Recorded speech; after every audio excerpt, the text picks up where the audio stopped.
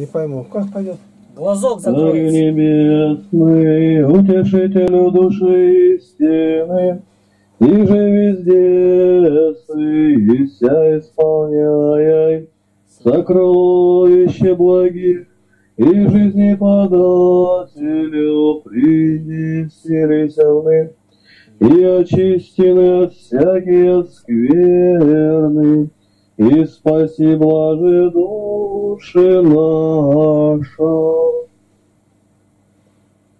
Господи, молим Тебя, благослови наши занятия по Слову Твоему, не дай уклониться ни направо, ни налево от истинного понимания смысла. Прибудь с нами в этот вечер, сохрани нас в любви, согласии единомыслии и послу. Хвала Тебе, честь и поклонение, Отец, Сын и Святой Дух. Аминь.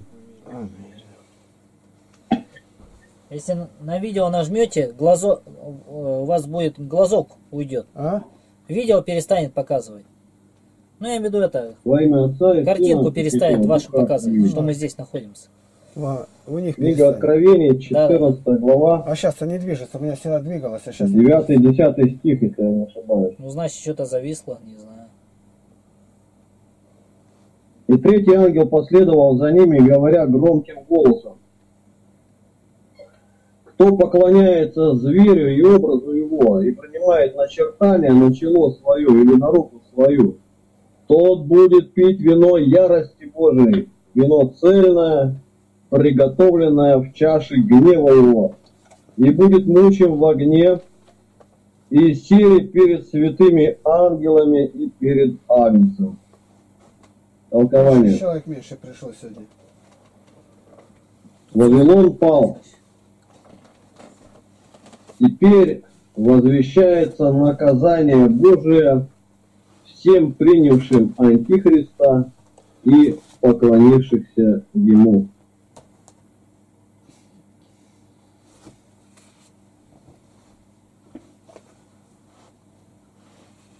Кратко, но ужасно было сатанинское торжество всей антихристово царства. Теперь расплата. Тот будет пить вино ярости Божией, вино цельное, приготовленное в чаше гнева его. Кто пил из сатанинской чаши яростное вино блуда, тот будет пить вино ярости Божией из чаши гнева Божия. Опьяненный блудом будет опьянен яростью Божией. Кто чем грешит, тот тем и наказывает. Таинственная чаша гнева Божия прослеживается на протяжении всего священного Писания. Человек согрешил, и вот с того дня чаша гнева Божия нависла над ним. Она все более наполняется вином ярости Божией из-за умножения беззаконий и благодеяний народов, и готова вот-вот опрокинуться и извиться. Временами некоторые капли обороняются, наказывая нечестивых. Потоп, гибель фараона, вавилонский плен. Однако чаша еще не излита. Спокойные и нечестивые, но пророческим оком видят страшную чашу мужи Божии. Ты не показывай. Цитата. После того, как мы лазили там другую. Дождем прольет Это он. Бог, на нечестивых горящие угли, огонь и серу, и палящий ветер, их доля из чаши. Восклицает царь Давид, Псалом 10, 6 стих. И еще цитата. Что- Ибо чаша в руке Господа, вино кипит в ней полное смешение, и он наливает из нее. Даже дрожжи ее будут выжимать и пить все нечестивые земли. Псалом 74, 9. Особенно много пишет об этой чаше пророк Иеремия. Цитирую. ибо так сказал мне Господь Бог Израилев, возьми из руки моей чашу сию с вином ярости и напой из нее все народы, которым я посылаю тебя. И они выпьют и будут шататься и обезумеют при виде меча, который я пошлю на них. И скажи им, так говорит Господь Саваоф, Бог Израилев, пейте и опьянейте, и изрыгните, и поите, и не вставайте при виде меча, который я пошлю на вас.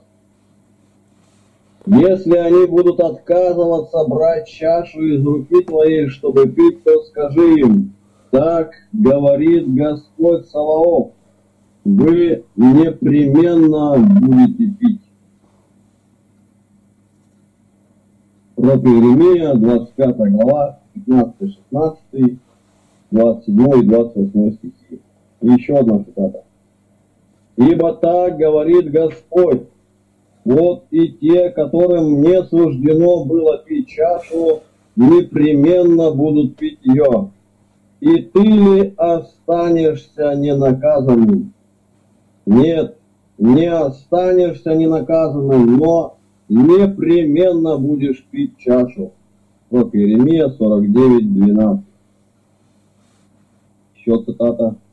«Радуйся и веселись, дочь дома, обитательница земли Уц, и до тебя дойдет чаша, напьешься допьяна и обнажишься, щель Сиона, наказание за беззаконие твое кончено.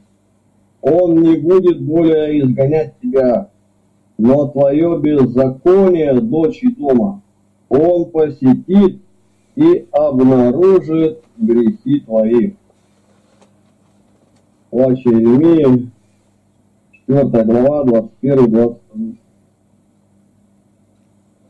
И вот слова пророка Иезекииля, «Ты ходила дорогу, э, дорогою сестры твоей, зато и дам в руку тебе чашу ее. Так говорит Господь Бог, ты будешь пить чашу сестры твоей, глубокую и широкую, и подвергнешься посмеянию и позору по огромной вместительности ее. Опьянение и горести будешь исполнена, чаша ужаса и опустошения, чаша сестры твоей Самарии. Пророк Езекиль, 23 глава, 31, 32-33 стихи возвещает и пророк Авакум. Ты присытился стыдом вместо славы. Пей же и ты, и показывай срамоту. Обратится и к тебе чаша десницы Господней, и посрамление на славу твою. Пророк Авакум, 2 глава, 16. Но параллельно этой черной нити пророчеств Писания о чаше гнева Божия прослеживается и красная нить о чаше спасения.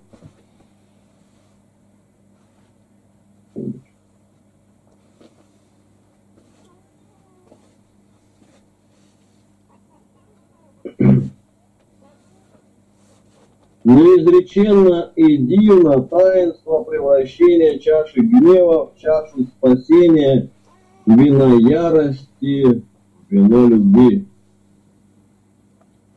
Цитата. «Чашу спасения приму, и имя Господне призову».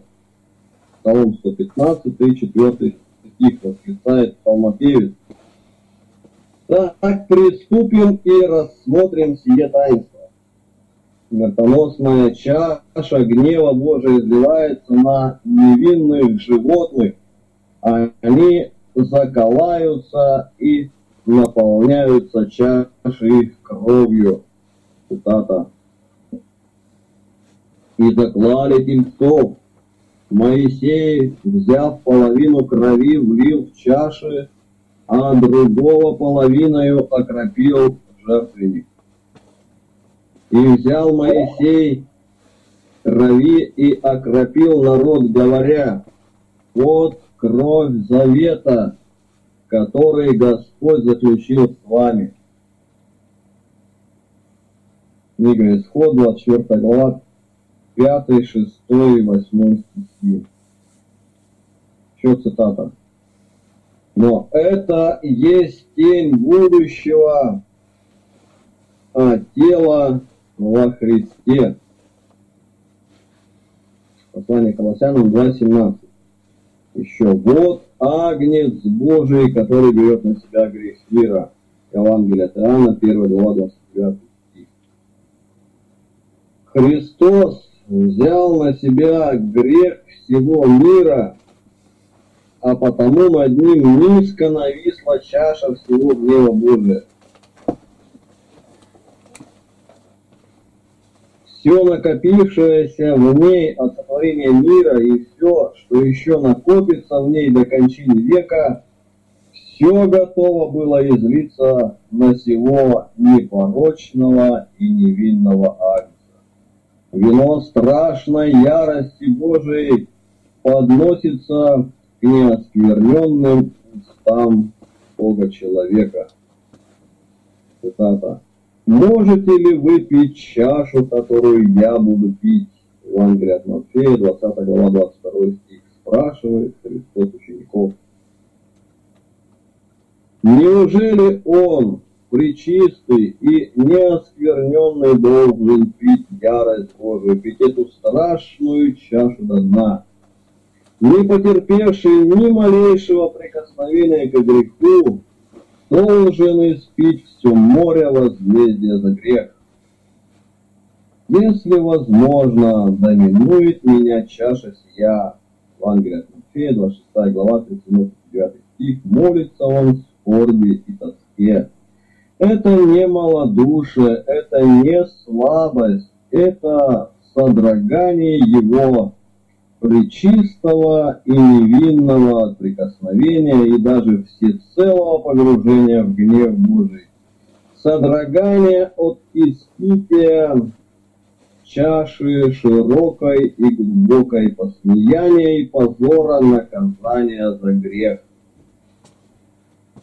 Это содрогание причистого и всесвятого от наказания за свою нечистоту и мерзость мира – это содрогание возлюбленного отцом сына, вечно пившего любовь очью от необходимости испития, ярости и гнева Божия.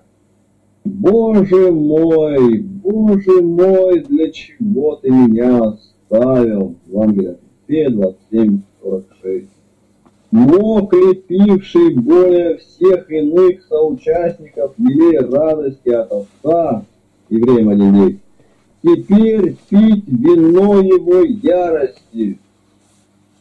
После такого елея такое вино.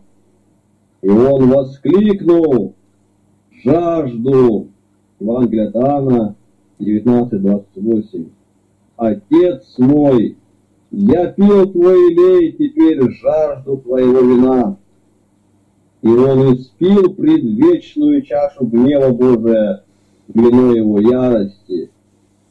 Свершилось, Евангелие от Иоанна 19.30, и предал дух твой.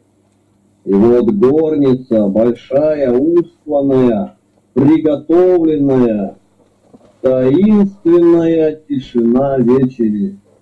Христос взял также и чашу после вечери, говоря, «Сия чаша есть новый завет в моей крови, который за вас изливается, которая за вас проливается». Евангелие от Луки 22.20. В этой чаше ярости Божией его гнева теперь моя кровь. Пролита должна была быть ваша кровь, но пролита моя. пейте из этой страшной чаши, и ярость его, излитая на меня, притворится в любовь его, излитую на вас. Чаша гнева, испитая мною, стала чашей любви, испеваемой вами. Я жаждал за вас испить вино его ярости и гнева, жаждайте и пейте вино моей любви, милосердия, которое есть кровь моя.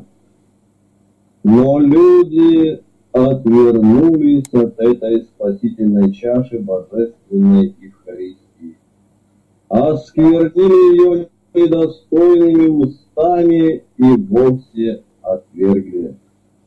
А потому выслушаем гром апостольских слов. Сколь тягчайшему, думаете, наказанию повинен будет тот, кто попирает Сына Божия и не почитает за святыню кровь завета, который освящен.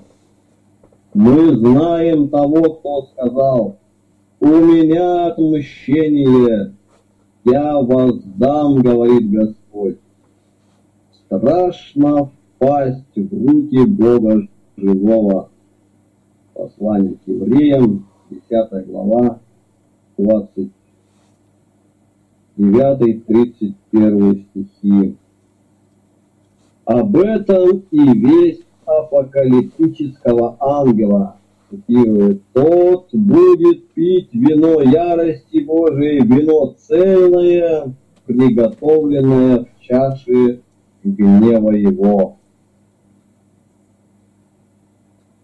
Может быть, вопросы у кого-то возникли?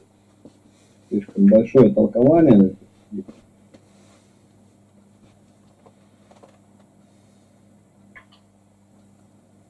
Тогда идем дальше. Вино цельное. Толкование. Если и ранее Господь наказывал людей, то всегда растворял свою строгость своим же милосердием. Крепость вина ослаблялась водой. На страшном же суде будет вино цельное, нерастворенное, не растворившее свое яростное вино, не растворившие свое яростное вино блуда слезами покаяния, будут пить нерастворенное милосердие вино ярости Божией.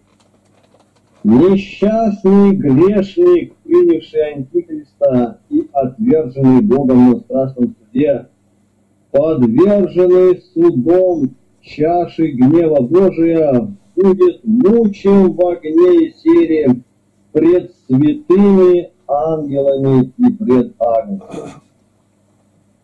Мучениями в огне и сере Писание представляет вечные муки нечестивых в гиене огненной. Эти муки будут еще особо усугубляться тем, что они будут пред святыми ангелами и пред Агнцем виду их. Нечестивые будут видеть вечное блаженство святых ангелов и их служение единому Богу, будут видеть то, что они навечно навсегда потеряли. Будут сравнивать свое состояние и состояние блаженных. Будут видеть тех, за вражду к которым удостоились вечных мук. Более того, их муки будут пред Агнцем, Далее цитата. «И они воззрят на него, которого пронзили».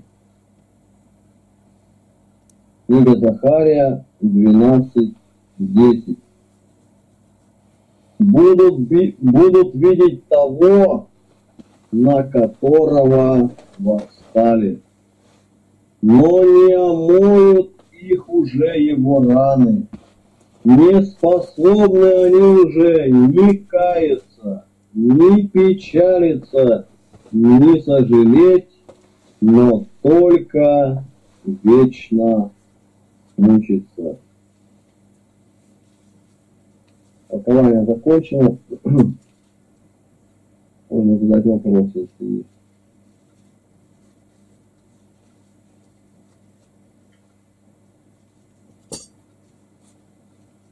Книга Откровений, 14 глава, 11.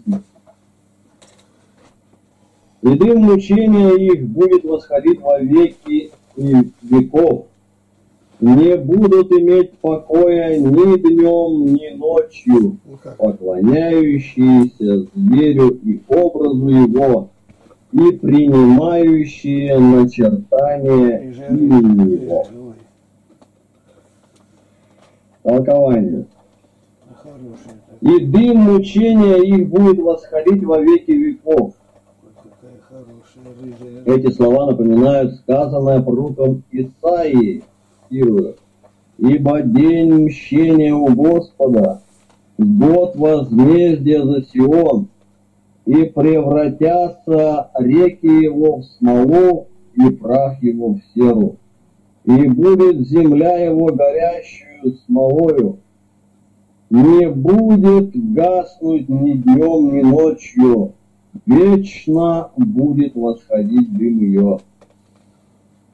Пророк Исайя, 34 глава, с 8 по 10 стих.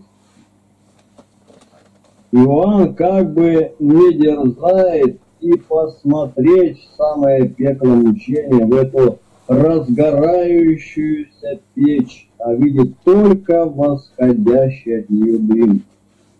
Дым мучения Андрей Кисарийский разумеет либо как восходящее снизу вместе с плачем дыхание мучимых, либо же как происходящий от гиенского огня дым. Дым происходит от огня. Так здесь сами мучения и подразумеваются под огнем. И этот дым мучений будет восходить во веки веков. Вечны будут мучения грешников. О, ужас нескончаемый! И эти мучения будут еще и непрерывны. Цитирую, «Не будут иметь покоя ни днем, ни ночью поклоняющиеся зверю и образу его и принимающие начертания имени его». Сейчас люди очень спокойны, когда речь идет о вечности. И не имеют покоя, когда речь идет о жалких делах мирской суеты, о жалких земных богатствах и почестях. Нет никакого беспокойства о спасении души. Говорят душе своей, душа, много добра лежит у тебя на многие годы, покойся, ешь, пей, веселись. Евангелие от Луки 12-19. И покоится душа беспечно. А когда она внезапно пробудится, будет навеки поздно. Душа, имевшая покой на земле и не заботившаяся о своем спасении, там, в страшных мучениях, не будет иметь покоя ни днем, ни ночью, никогда. Вот страшная противоположность небожителям, которые ни днем, ни ночью не имеют покоя, взывая. Свят, свят, свят Господь Бог Вседержитель. 4 глава 8 стих. Одни не имеют покоя в блаженстве и добровольном словословии, другие в учениях. Выражение «ни днем, ни ночью», как и в 4 главе 8 стихе, означает не наличие дней и ночей вечности, а непрерывность там. Словословие здесь мучение. просто использован обычный оборот речи для обозначения непрерывности. Вопросы? Ну вот на что хотелось бы обратить ваше внимание. Мое внимание вот. Так.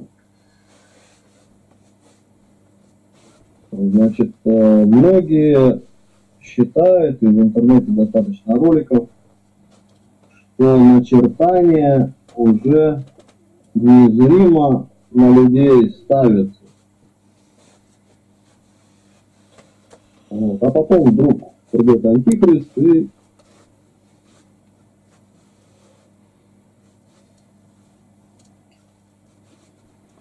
и все окажутся, значит, вот под его властью. А, значит, на что хочу обратить внимание. То есть, э, еще раз читаю Откровение 14 глава 11 стих. «Ряды мучения и будет восходить во веки веков, не будут иметь покоя ни днем, ни ночью, поклоняющиеся зверю и образу его, и принимающие начертания имени его». То есть впереди идет поклоняющиеся зверю и образу его, а потом уже принимающие и начертания имени. Вот. И сразу у меня всплывают такие слова, мы когда раньше еще визиточки раздавали, там была цитата, по-моему, от Марка 16-16, я не ошибаюсь. Кто будет веровать и креститься, спасен будет, а кто не будет веровать, осужден будет. То есть вначале идет веровать и креститься, а потом просто веровать.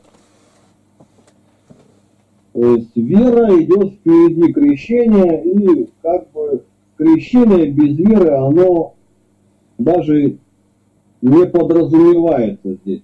А кто не будет веровать, значит, не будет спасен. Также и здесь. Здесь э, антикрист Сначала написано поклоняющиеся зверю и образу его и принимающие начертание имени его. Понимаете? То есть, так же, как и у Господа, сначала вера, потом крещение. Так же и у Антихриста. Сначала поклонение, потом начертание, а не наоборот. Вот. Потому что ну, крещение без веры, оно не спасительное само по себе это таинство. Если человек не верит, то и как бы вот. Я не призываю к тому, что, например, кто примет печать Антихриста, но будет веровать во Христа, тот спасется. Нет, не об этом смысл. Смысл такой, что вначале идет поклонение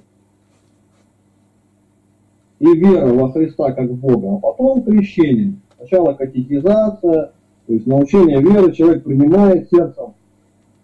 Вот. Потом он идет, принимает таинство в и в крещении получает печать дара Духа Святого, значит, еле помазания, таинство. И он с этого момента становится христианином, членом церкви. Точно так же, я думаю, и будет Э, в последние времена, еще раз вот читаю, поклоняющиеся зверю и образу его и принимающие начертание имени То есть принять начертание без поклонения, так же как и креститься без веры, это, ну, как бы выразиться правильно. То есть не имеет никакого смысла. И как, какое место? Э, ваше обрезание не вменится ли, ли вне обрезания, их не обрезание не вменится ли в обрезание. А крещение это прообраз обрезания. Когда вот спорили христиане, надо ли им обрезываться. Говорит, нет уже, апостолы говорят, уже это не, не надо. То есть все вера. Вера, ну и дальше мы будем, конечно, подкрепленная делами. Делами милосердия, делами любви, делами... Вот, вот такая мысль у меня возникла. Что подтверждение моей мысли, что сначала будет отречение, а потом уже начертание. Так начертание уже есть. У кого? Вот суд прислал, мне Игнатий Тихонович прислал сегодня. А, ну и мне прислали. Но там уже доказано, что это и есть начертание. Там кто, кто, кто автор э, этого, и что доказано, кто антикрист, что такое. Все, уже у всех есть это, но начертание есть. Теперь остается только, остается только чипирование и все. Как антихрист придет, нас всех зачипирует под этими, вот этими э, черточками. Наше имя уже у него есть. Кошмар. Страшно как. Братья, это Роман Кроликов. Боящийся несовершенен в любви. Если вы говорите кошмар, это значит, вы не верите, что Господь наш Иисус Христос спасет нас и вас. Если вы верите. Трудно страшно. А вот, значит, любви нету, к Богу нету, к людям нету, и к самим себе нету любви. Вот. И почему еще, вот правильно я, аминь, э, Сергею говорю, вот, что, получается, люди так э, думают, что вот можно принять печать Антихриста и якобы э, без веры да, в него, как в Бога. А, то есть просто принял, и все, и значит ты уже веришь. Но ты еще не веришь, но ты поверишь. Может быть, ты так думаешь. Потому что или не веришь, ну самое главное, что ты уже не спасен. Это идет от, от обряда верия. Обряда верия. Это как старообрядцы тоже. Если ты примешь вот это вот э, троеперстие, значит ты погиб. Это то же самое. Обряда верия. От чего это идет? От незнания Писания, от э, вот именно веры только в обряд. А не веры, а, нету веры в Бога и в Его Слово, что Он будет нас судить по Слову Своему. А не так, как нам кто-то там сказал, что вот, ага, троеперстие, если ты будешь троеперстно на, на руку свою примешь и на чело это троеперстие, все, ты, значит, и на руку принял, и на чело начертание зверя принял. И Игнатий Тихонович, то, что присылал файлы, они не говорят о том, что мы приняли э, или принимаем печать анти, Антихриста. Просто там написано, что для тех, кто так думает, для тех разрешено не принимать вот эти номера, там, ННН. И все. Вот так, пока что так можно не принимать. Хотя тут, конечно, везде этому сопротивляются государственные органы, уговаривают, что принимать нужно везде и все. Вот, и сопротивляются этому, ставят разные препятствия. Вот. Поэтому вы зря говорите на Игнатия Тихоновича, что он прислал файл, который разрешает, ой, не, не разрешает, который говорит, что мы принимаем незримо уже печать Антихриста. Нету такого файла, вы неправильно его поняли то, что там написано. Вот. Вот так. И еще вопрос у меня такой. Вопрос. Вот то, что мы сейчас читаем, вот про гнев. Мне интересно вот про гнев Божий. Потому что много таких э, слов, и тот же Алексей Ильич Осипов э, говорит, профессор, что Бог всех любит, и я это много уже слышу от священников, Бог всех любит, а, вот. Но, правда, поговорил я со священником, который ты говорил, он уже вроде бы так не говорит, но и не опровергает то, что он всегда говорил. То есть он всегда проповедует, что Бог всех любит, ни на кого не наказывает, и теперь ему все вторят. Вот. И мне приходится еще разговаривать с людьми, которыми он разговаривал, и их разубеждать, что Бог не, не всех любит, Он наказывает нас, что вот, а то они уверены, что Бог не наказывает, а тут мы сейчас читаем, что гнев Божий, Бог гневается на людей и будет их наказывать. Вот. И действительно Он наказывает нас, потому что а, даже через людей как говорит Осипов Алексеевич, что мы сами себя наказываем. Ну как же мы сами себя наказываем, когда нас люди наказывают? Они воюют с нами, они нас бьют нас, они убивают нас, они нас в тюрьму сажают, они у нас материальные блага забирают. Они, люди нас наказывают. Значит, не мы сами только себя наказываем. Да, мы иногда и сами себя наказываем. И чаще всего так и происходит.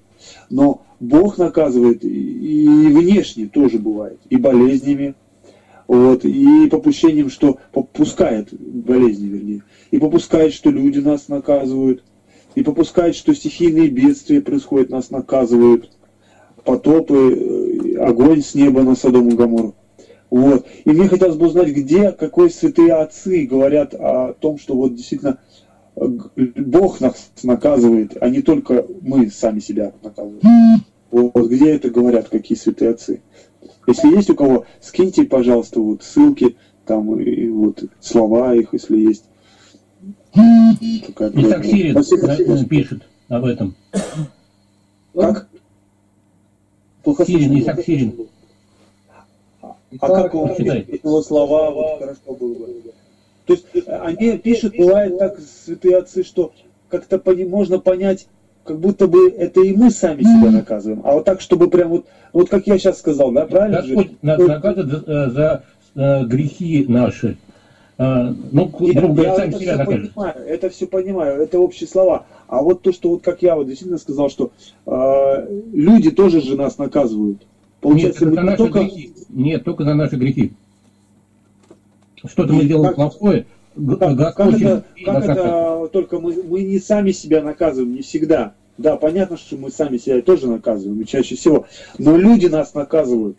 Получается, Бог попускает э, людям нас наказывать. Да, вот да. Же, да, да. То есть вот. не, не мы сами себя наказываем. Нет. Получается, вот, мы вот, делаем да. плохое, и Господь нас через людей наказывает. Вот так. Да, да, сами да. себя наказывает. Нет, ну, нет, ну да, да, да, смысле. А в том что смысле, посеет, что, кто посеет человек, то пожнет. Да, вот да, да, вот это правильнее. Что посеет, это, по, пожнет. Это, это, это правильно пожнет, но просто они говорят, что Бог это не наказывает, это сам человек себя наказывает. Это неправильно. Но он это посеял, он это и пожинает. Нет, нет, тут не, не, не только в этом, а надо именно, э, правда, что именно Бог наказывает, а не только прям сам человек посеял и там ему он пожал. Не только так. Потому что бывает Бог э, вот наказывает Роман, так, что человек может и не... Исаак Сирина, почитай, прям с первого тома там все указано, как у него все произошло. Почитай, там вот как раз он пишет. Вот как. Почитай. Понимаете, говорят, что Бог не наказывает. Нет, не наказывает он. Он не гневается. Это как-то, это иносказательно все говорится. Каким-то там, я, наверное, так я не, правда, не говорил про эти слова, что он там гневается. Роман, ну ты спроси, скажи, вот а потоп он иносказательно навел. Вы верите, что был потоп, что он утопил? Ну да, это они еще объясняют, вот ты тоже, Алексей Ильич, это такой закон, вот как закон физики. Вот ты бросил камень, и он упал. А вот ты сделал плохое дело, и вот тебе потоп. Понимаете, а, то есть это да. природа наказала. Типа, Бога можно, можно вообще о Боге забыть. Мы сами просто себя наказываем. И либо если хорошие дела делаем, то как бы... Как Сергей очень хорошо сказал про потоп. Люди блудили, как бы... и Господь их наказал. Сами себя наказали. А, вот, а вот не Господь наказал-то, они говорят, вот Алексей Ильич. Это Бог-то не наказывает. Это как бы природа наказывает. Тут получается вообще из это... Осипова, из профессора, можно вообще о Боге-то забыть. Да, Ром, это дух, обол... дух обольщения, то есть чтобы... Нет, я понимаю это все. Ну вот как правильно объяснить? Ну вот я вот нашел единственный выход, но правда еще не говорил, что люди э, вот наказывают нас. Получается, не Бог наказывает, а люди наказывают. Потому что люди-то свободные, они не как природа, да, там, э, как компьютер там сказал ему там команду, и он сделал в ответ. А люди могут и не сделать, у них воля свободная. Но они делают, а иногда не делают, да? Ну, кто, кто сказал Адаму и Еве смерть умрет? Не обязательно людям говорить о Христе. Да. Нет, ну видите, они же опять оби- оби- объясняют это, что это как бы природа. Это природа. Ну это Бог такой сделал закон, сказал, вот так будет. В природе. Хорошо. Он сказал, тогда, он сказал, тогда, кто тогда сказал, нет, нет, не умрете? Кто сказал, не умрете? Тоже природа сказала. Да. Да, это вот он такой вот закон, да, это и природа, да. Это он такой вот, Поэтому большая заслуга дьявола это доказать, что ни Бога нет, ни дьявола нет. ну Это это понятно. Это Это все мы понимаем. Теперь как надо объяснить, как вот, что они А ошибаются. потом они говорят, что все, все, все, в Евангелии правильно, правильно, только в конце не, сатану, не Христос сатану победит, а сатана Христа. И люди начнут все верить, верить, верить. Вот. Сережа, Сереж, можно я скажу для вот. Романа Фроликова? Давай. Ну и вообще я вижу так люди. Дело все в том, что я понимаю, это такое ревность большая у людей доказать. Доказать ничего невозможно людям. То, что вот вам Сергей сказал про потоп, и пускай они это читают, и святых отцов читают на это место, Златоуста, и там конкретно все написано. Но эти люди, я так понимаю, с которыми вы беседуете, они сами ничего не читают. Слово Божие тоже, скорее всего, они не читают, раз вы им что-то доказываете какими-то своими словами. Если они не верят, а профессора Осипова по имени и отчеству упоминаете, как будто он, ну, не знаю, какой-то великий, уважаемый человек. Его вообще можно не слушать. Что он там говорит-то толкового? Зачем вам обращаться к тем источникам, которые вносят раздрай в вашу душу? То, что там люди погибшие уже, ладно, ну, Господь вас выводит на спасение. Ваше дело благовествовать истину по Слову Божьему. Вы отстаньте вообще от них, сказали истину, идите дальше к людям. Не надо на одних и тех же задерживаться.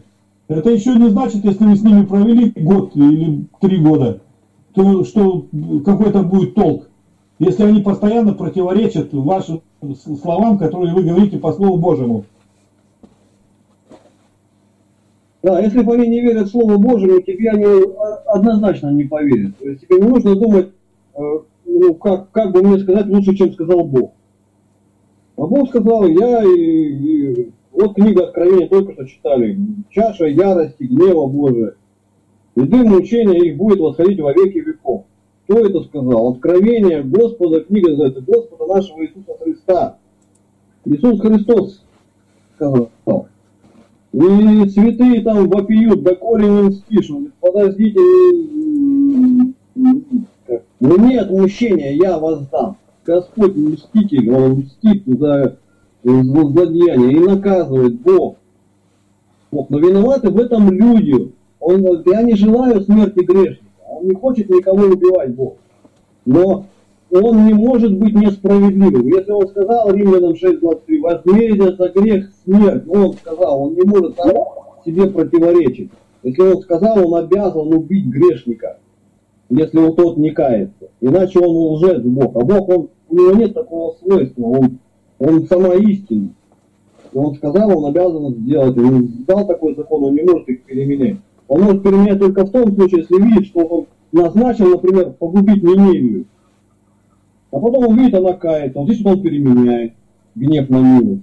Здесь да. Но это не значит, что... Сереж, я еще хотел...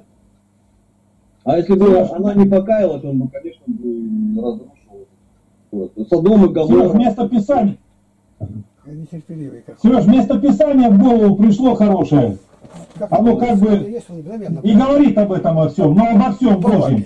Это книга Тавита, Тавит, 12, 12 глава, где написано, что цареву тайну следует хранить, а о делах Божьих нужно возвещать громко. Так если, если ничего нет, то дел Божьих, о чем тогда возвещать-то громко? А дела Божьи и какие? Это не только э, то, что Господь спас там кого-то или наградил кого-то, но и кого наказал правильно. Потому что иногда наказание обращает на праведный путь. Ну, не того, который, допустим, там погиб уже от наказания, а кто рядом был и увидели это и направились на этот путь. Это дела Господни, это все дела Господни. Причем тут какая-то природа. А тут слово природа вообще в Библии не употребляется. А, Ладно. Ну, я, я говорю как, братья, то, что, ну, во-первых, э, то, что Игнатий Тихонович, например, тоже говорит, он много лет говорил, говорил, и теперь, наконец, э, там происходят какие-то подвижки, да, насчет крещения там и так далее и тому подобное. То есть и я также вот отношусь к людям. Я не то, что им там постоянно говорю, нет, конечно, естественно, этим ничего не сделаешь, э, когда нудить будешь, да, там постоянно. Ну, смотря когда надо смотреть с кем. Роман, вот. быстрее давай, а то я... Да, да. А еще по поводу а, а бредоврея, еще вот то, что я не высказал, может быть, не помню, что а, люди, которые вот так думают, что если они при, приняли а, вот а, печать антихриста, а, начертание, и при, ну, до того, как он появился, антихрист, до как бы веры в него, да, то есть это, это также вот от, оттуда из нашего православия как раз и берется. Потому что оно у нас и появилось, вот это вот мнение, да, чаще всего. Вот. За границей я не слышал, чтобы где-то такие мнения были, да, там. Вот. А тут у нас, потому что у нас как раз и не учат э, православию-то как раз. А вот крестились, вот если вы обряд совершили, тоже приняли, то вы, значит, вы православный, значит, вы спасены, да.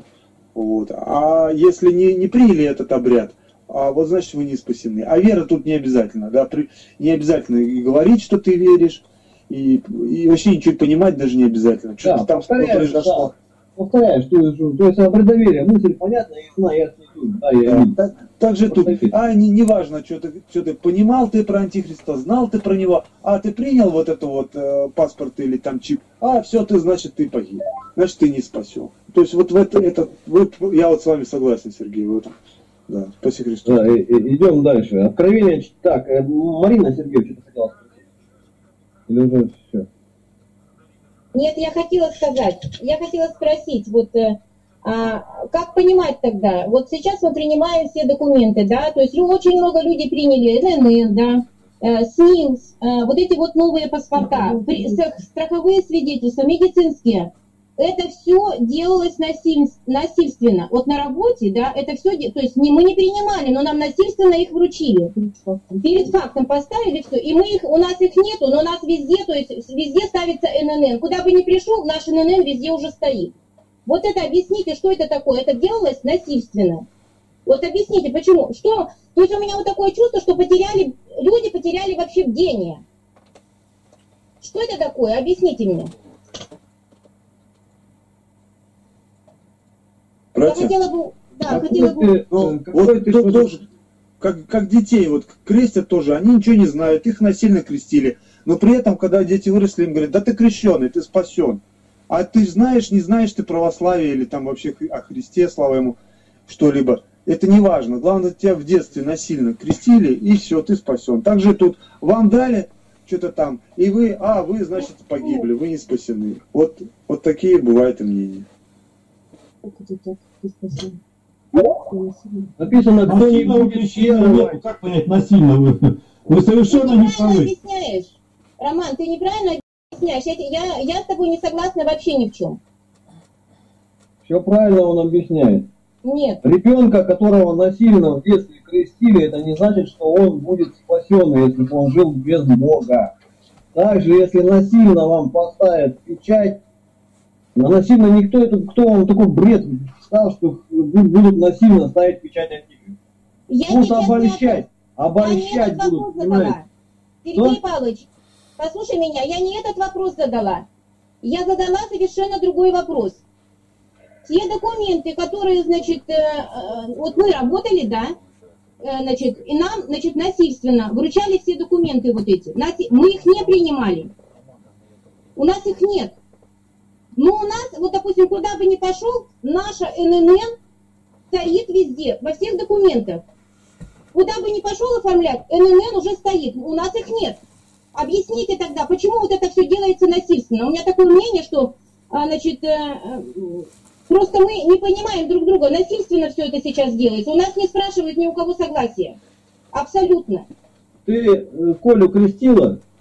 Да. Сына своего? Да. Ты спрашивала у него согласия? Изнасиловала ребенка? Нет, а он может быть неверующий вырос. Ты что дальше? Сразу И дальше что? Замолкла, Марина. Мы, сейчас не, мы сейчас не про крещение говорим. Мы сейчас говорим самое. про документы. Это разные вещи. Мы говорим, ну документы это Это разные вещи совершенно. Ну документы, ведущие печать, вы же сейчас о печати антихриста говорите. Мы, мы, мы насильно дали тебе этот ННН. Дальше что? Какой ты вред от этого потерпел? Вера от этого уменьшилась или что? Я говорю, что сейчас люди потеряли бдительность. Это все делается насильственно, и мы этого ничего не видим. И не хотим этого видеть и замечать. Бдительность в чем? У тебя теперь вот ИНН приняла, ИНН приняла, ты, у тебя вера уменьшилась в Господа Иисуса Христа, когда ты узнала? Нет, она у меня наоборот усилилась. Так и, и, и славь Бога, а почему ты говоришь, что... Я и славлю, но я не об этом сейчас говорю. Я говорю, сейчас люди, людям все делается насильственно. Вот мы говорим, что насильственного нету ничего. Все делается насильственно, против человека. Можно сказать. Братья, подождите. А мы, я не слышал, чтобы кто-то говорил, что сейчас не делается насильственно. Мы таких слов не говорили. Мы согласны, да, делается насильственно. Даже крестят насильственно.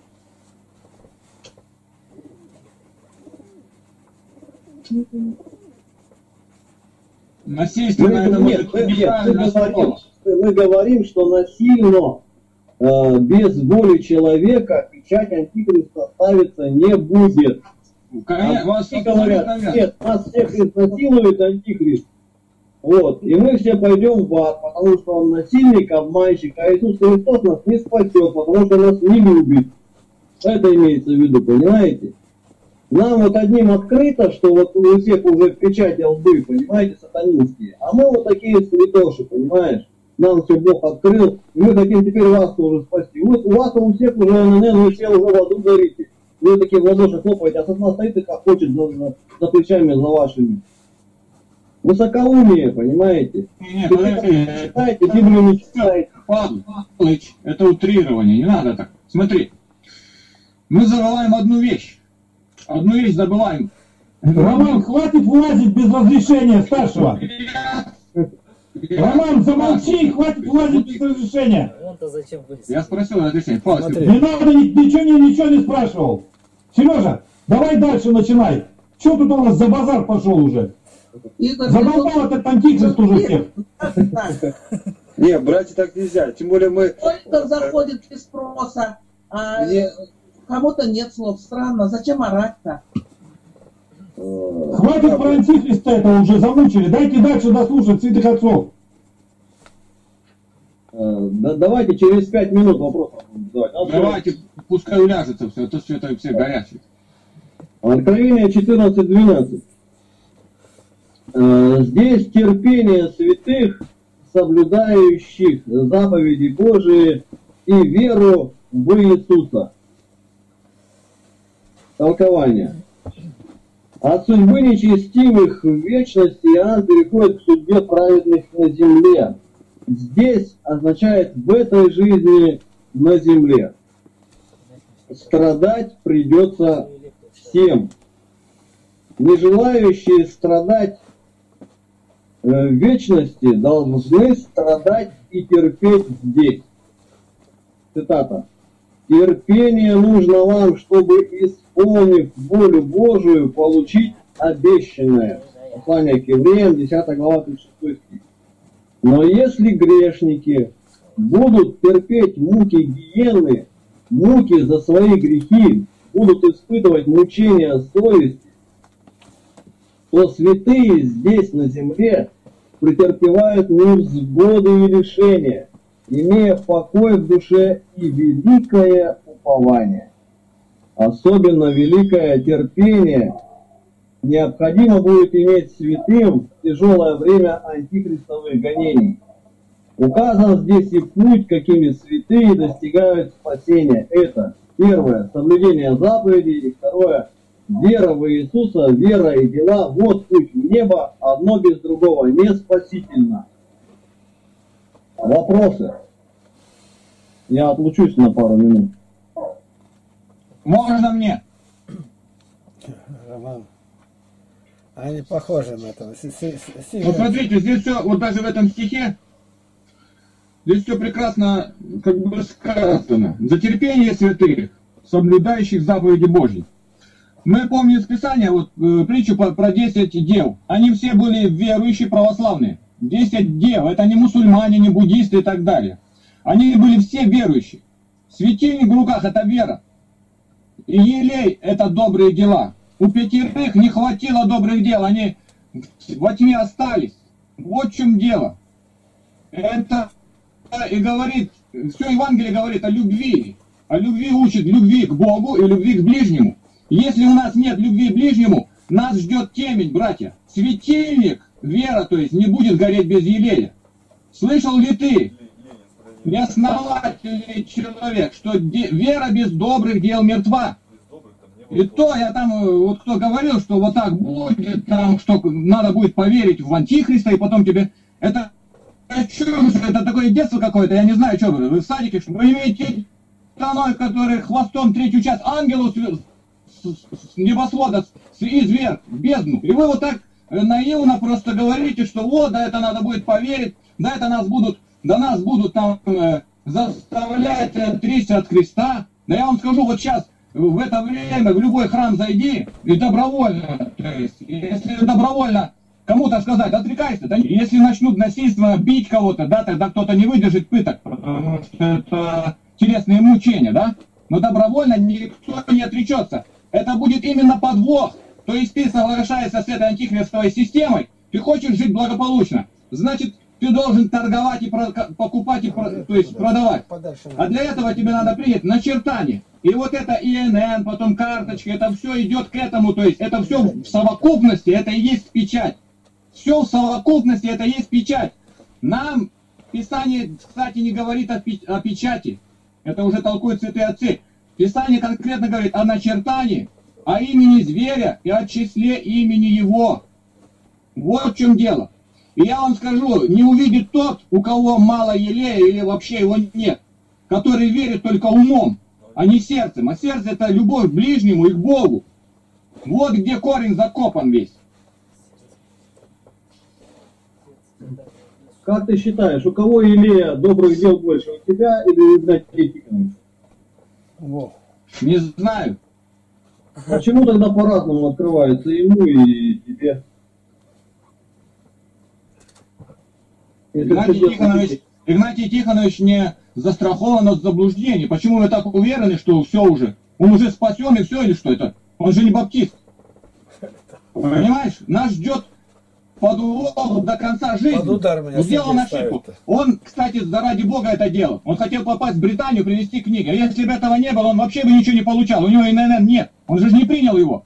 Хотя ему даже сулили там большие цифры, миллионы и сколько. Он не принял, он знал прекрасно, что это чему-то... А чип этот, э, я верю, что он от этого избавится. Но у него-то сила веры большая. А мы-то проповедуем и говорим другим людям, да это все нормально принимаем. А мы откуда знаем, какая, какая вера у кого? Сможет он или не сможет? Потом, в конечный момент, когда будет уже очень опасно отказаться уже от этого чипа, который хотят вживить в тело. Почему они в тело хотят вживить его? Ты думаешь, Игнатий Тихонович, Игнатий Тихонович в тело, вот завтра придут ему и скажут, так, хотите получать пенсию, надо вживить в тело. Да он не согласится никогда. А это к этому ведет-то все. Кто вживит, э, те, ну кто примет в тело чип, это все уже будут пить э, вино ярости. Конкретно. А это пока в совокупности, да, это печать. Есть пошагово, то есть ступени, их, их там много. Первая ступень-то еще ваучер был. Ваучер, когда попринимали, когда Советский Союз это, это э, раздеребанили. Ваучер это мы, кто подписался, тот продал свою родину, понимаете? То есть в духовном смысле ты принял вот это там, ну я помню на Украине у меня был там миллион, то есть там э, этих купонов, да, принял, значит я принял эту, расписался, я от, э, продал родину. Все, у меня родины нет, я ее продал. Потом они чуть-чуть подождали, все это скупили за копейки, да, и все, мы остались без родины. И они попринимали номер, да, все, ты уже не, не Сергей, не Андрей, не, не Дмитрий ты уже номер такой-то, и все. И там еще... Да, Марине, Марине слово, да, да.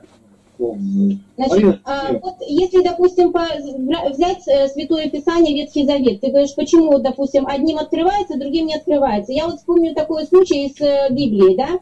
значит, когда Господь явился пророку и, и, Ионе, да, и сказал, что я разрушу город и погублю всех. Ненавитян. Ненавитян, да. Дело то в том, что когда он пошел на гору, и когда молился Господу, Господь же не разрушил этот город и не погубил людей по одной причине, что люди стали каяться. И Господь изменил меру, меру вот это вот, э, меру, меру своего гнева. Так же и в жизни у нас получается. Понимаешь? Э, вы сами себе, ребята, противоречите. Писание говорит так, что кто примет печать или начертание, уже не будет в этом покаянии. Сейчас вы говорите, что начертание уже есть, нужно только в этом покаяться людям, которые приняли это начертание. Так, я тебя понимаю? Сережа, не будет, когда уже читу, чип в руку в эту всадят, тогда покаяние. Чипа нет в руке, есть возможность избавиться. Есть. Почему они ведут к вживлению чипа? Потому что они прекрасно знают, что паспорт можно сжечь, вот это все можно сжечь и уничтожить, и все, и на тебя не будет никакого влияния. Сережа, это уже масло масляное, я это уже 20 раз слышу от одних и тех же людей. Вот им заняться просто нечем. Вот молчали, молчали все Евангелие, молчали все послания апостольские, как дошли до откровения, до Антихриста, и тут разразились. Вы что, с Антихристом ручкаетесь где-то, что ли, не пойму, понять не могу. Что вы до, до этого Антихриста докопались? Дайте пожить нормально пока, верующим, православным. Что ты меня хочешь переубедить, что ли, в свою веру направить какую-то новую? То, что у тебя другая вера, это мне понятно уже. Что ты тут э, эту агитацию разводишь настоящую? Это что, проповедь у тебя, что ли? Зачем от себя кому-то пороть? Сережа поймал тебя за язык. Ну и сиди, молчи, все понятно уже. Игнат Тихонович, он отречется от э, чипа. Что, с головой не дружишь, что ли? Так, э, выражение. Братья, ну, Братья. это Роман Фроликов. Так нельзя говорить, с головой не дружишь там. Это оскорбление. Вот. Мало чего нам говорят, оскорбляют. Мы-то не должны оскорблять. А это еще не оскорбление, это комплимент. Я слышал побольше. Я слышал бесноватый, ну, я, я это понимаю. Понимаешь? Я... Это все о чем говорит? Об одном. Я-то ничего против не имею, против братьев там. Я понимаю, откуда это это дух злобы поднебесный, вот в чем дело. Поэтому наша брань против них, а не против крови и плоти. Э, ну, а мы на войне, мы на войне, поэтому никаких обид, ничего у меня нет, слава Богу. Роман, 19 января приезжай сюда, будем благовествовать неверующим в Бога вообще. Приезжай, будем на морозе, морозить свои ягодицы, распространять Слово Божье. И хватит ну, там это болтать языком в прошлого года, ну, это, в прошлый праздник я был. Если Бог сподобит, буду и сейчас. Ничего, я никогда не отказывался. Почему ты акцентируешь? Давай будем молиться, чтобы ты там был. Все. И об антихристе хватит, уже все все услышали. Молодец. Мы видим, как ты любишь всех. Не вот давай до конца все, стой. За правду и истину. Помоги, Господи. Аллилуйя. Э, вопросы? Ну вот у меня один вопрос только. Вот мы прочитали сейчас это все. Вот 11 главу, 12. Почему святые вот так не останавливались, как мы сейчас на этих антихристах, на начертаниях и так далее? Почему они беспокоились о душе? Вот о грешниках беспокоились. Что это относится к кому-то эти слова? Понятно, что сатана увлечет за собой людей, если он ангелов увлек. Как не увлечь людей? Но что нужно для того, чтобы не увлечь людей? И вот тут везде Игнатий Тихонович показывает, вот он тут выделяет слово благовестие, благовестие, проповедь, распространение Слова Божьего, и он все это здесь выделяет. Вот чем нужно до конца дней заниматься. И тогда никто тебя никуда не увлечет. Даже если ты поползнешься, Господь подставит плечо, подаст руку, если ты верующий до конца. Пока что еще из того, что вы говорите, ну, есть только одно. Понятно, что начертания будут электрические, какие-то невидимые знаки, и, а может и видимые, никто и не говорит, что невидимые, тоже мы этого еще не знаем. Но они могут поставиться на тело. Если раньше это были какие-то наколки, ну, то это как-то было грубо все, то теперь понятно, это будет не так. Не наколки будут, хотя может и наколки, кто их знает. Тут тоже гадание уже на кофейной. Пророков еще нету, а семи ангелов нету, чаш гнева не излили. Дальше ангелов блаженства тоже еще нету. То есть еще ничего не понятно. Вы пока накапливаете информацию, не надо так скоропалительно все свои выводы делать в уме.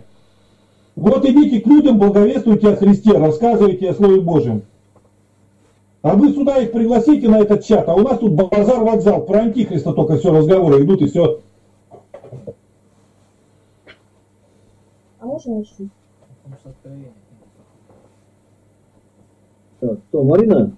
Давай. Да, да. Я, я как бы э, хотела дополнение еще сделать к Игорю. Вот говорит он благовестие, да? Я считаю, что благовестия этого мало. От человека сейчас в большей степени требуется покаяние, бди. О, Вырубила. Смотри. скайп у нас пропал. Сама вы пропала. Нет еще. Что? Никита, ну-ка на помощь. Не было видно меня сначала, а теперь и... Ну вот меня не будет, что вы будете делать? Будете без скайпа сидеть? Ну просто Я думаю, выключайте сейчас- его, что- заново запускайте. Что тут-то? Выключайте его. Сейчас что делать? Что делать? Я это держу пока, давай. Я думаю так. Подожди, Володя, отключись сюда. На, Ты такой же, хорошо да? поворачивай, смотри. Мы это не должны прерывать. Если тебе помощь просят, Не тебе не поможет? Теперь я все разбазариваю отсюда, с этого, потому что закрыто. Нам нужно подойти хотя бы к концовке. Так, сделай, подключи меня. Без тебя, брат, никак. Давай. Ну, пусть звонит еще. Само выключилось. И дать знать этому Сергею, чтобы он подключил нас. Он подключает. Написать надо вот этот клей, скайп, на него выйди, Да уже, на... на Сергея, чтобы Я Сережа уже нас отключилось. Почему? уже написал. Подключи нас. Да вот вот так. написал уже. Это буква С. Вот посмотри, где он, Сергей Попов. Вот это тут и есть это. Да он написал ему уже, написал. Кто написал? Никита написал уже. Написал. Ну, вот, а чтобы он подключил меня. Сегодня не подключен. Я думаю, связано ли с тем, что у нас вот Яндекса мы тут путали, э, вы- вышибло из всех. Все пришлось. Сегодня мне на форум зайти не могу. Опять начал это искать свой пароль и входить. Как-то связано оно, ни раньше, ни позже. Притом везде вышибло. То, что переходили, и там что-то не заладилось с этим, с хромом. Так, Сергею дать Пупкову знать на него и там, где они занимаются, чтобы он меня подключил. Вопросы и ответы. Пускай сам скажет. Сережа, подключай.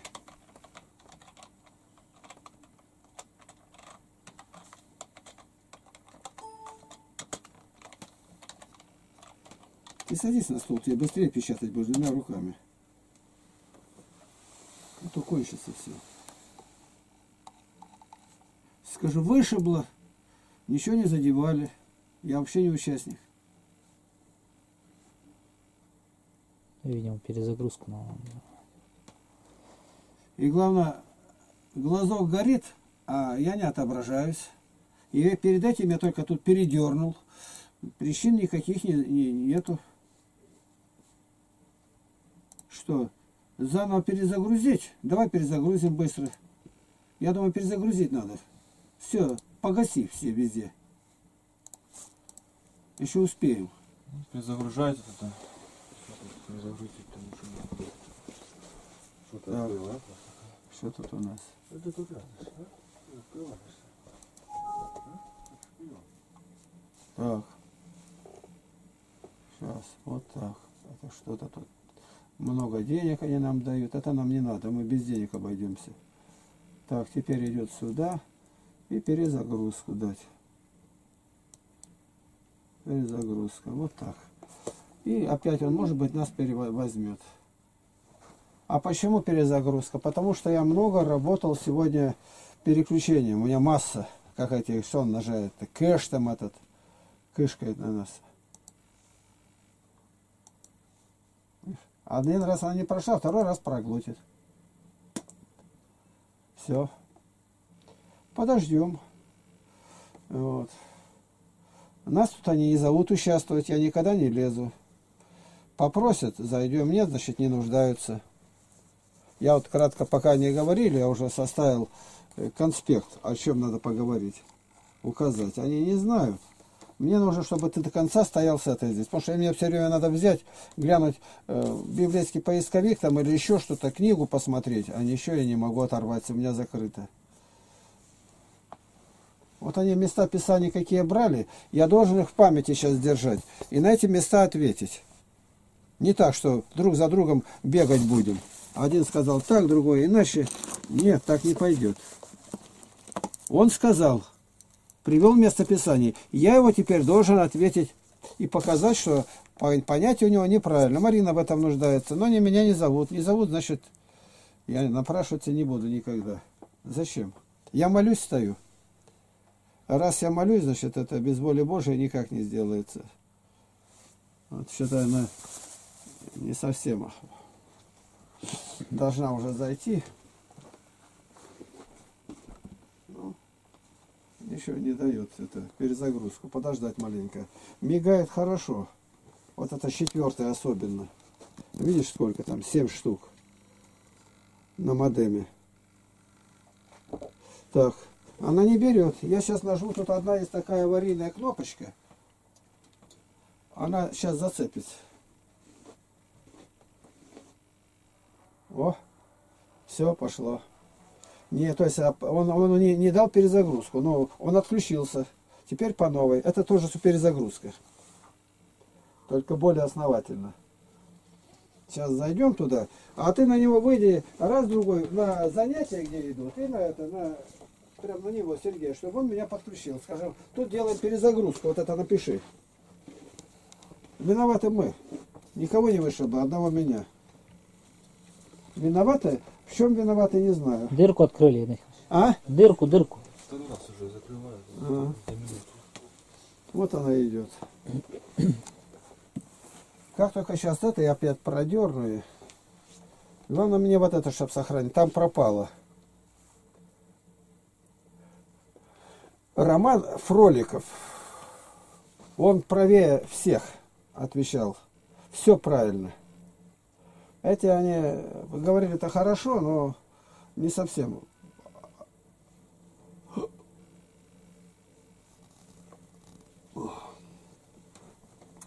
Они один вопрос подменяют другим. У них все причина-то в чем? Вопрос стоит кто, а они отвечают за что. Это, большой, это вопрос совершенно другой. За что это соединиться с тем, кто? Определить надо, кто наказывает.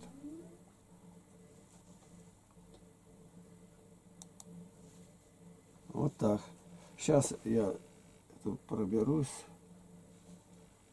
Зависает она. Вот видишь как войдет или не войдет она. Если не войдет, мне надо тут опять проходить этот такой путь э, трехступенчатый. Вот вошло. Ну, сейчас надо в YouTube зайти, на всякий случай. Ну, вот так. А теперь надо зайти в Skype. Все, если это я зашел туда, сейчас она крутит, я сейчас постараюсь вот эту вот дернуть. Тут проводок, который идет от глазка туда. Его надо выдернуть и обратно задвинуть.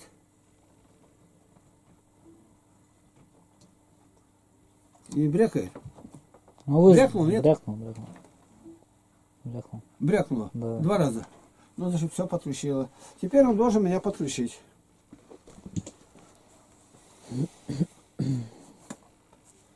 Так, где тут Сергей? Сейчас надо найти, где занятия идут у них. Так.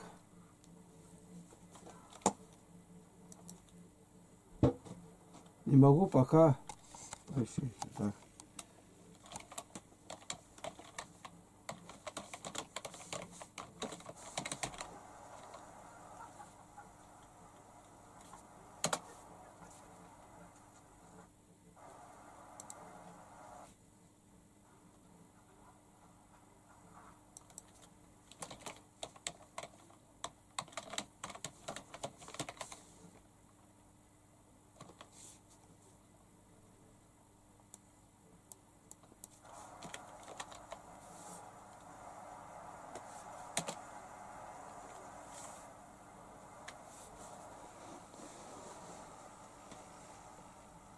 Теперь все.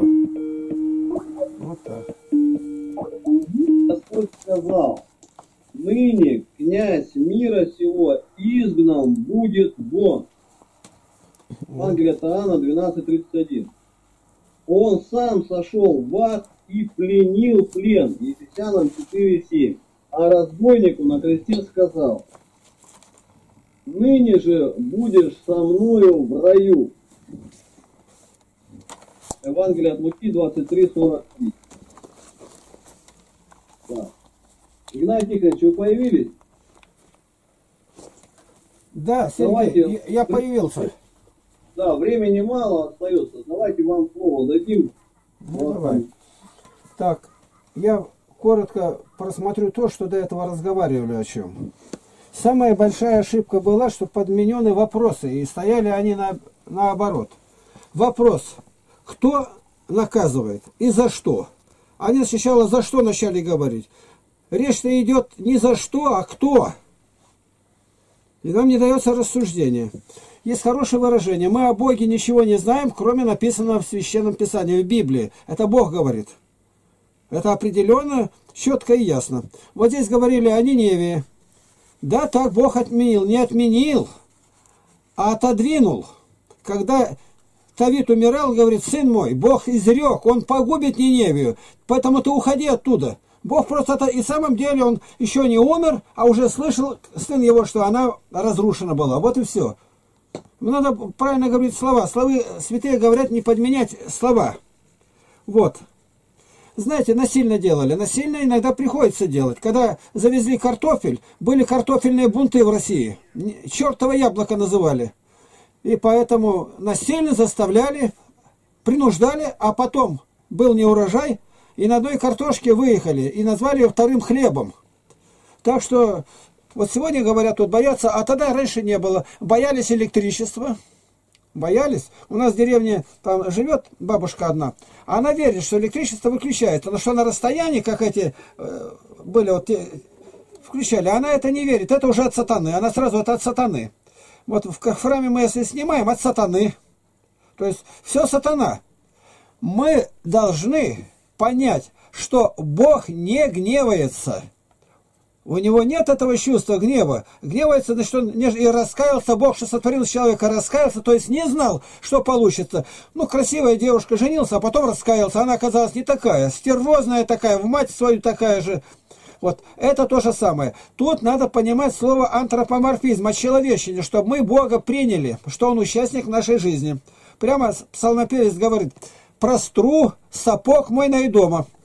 Буквально понимать сразу вопрос, а какого размера сапог? Что целую страну давнул, как червяка на... после дождя.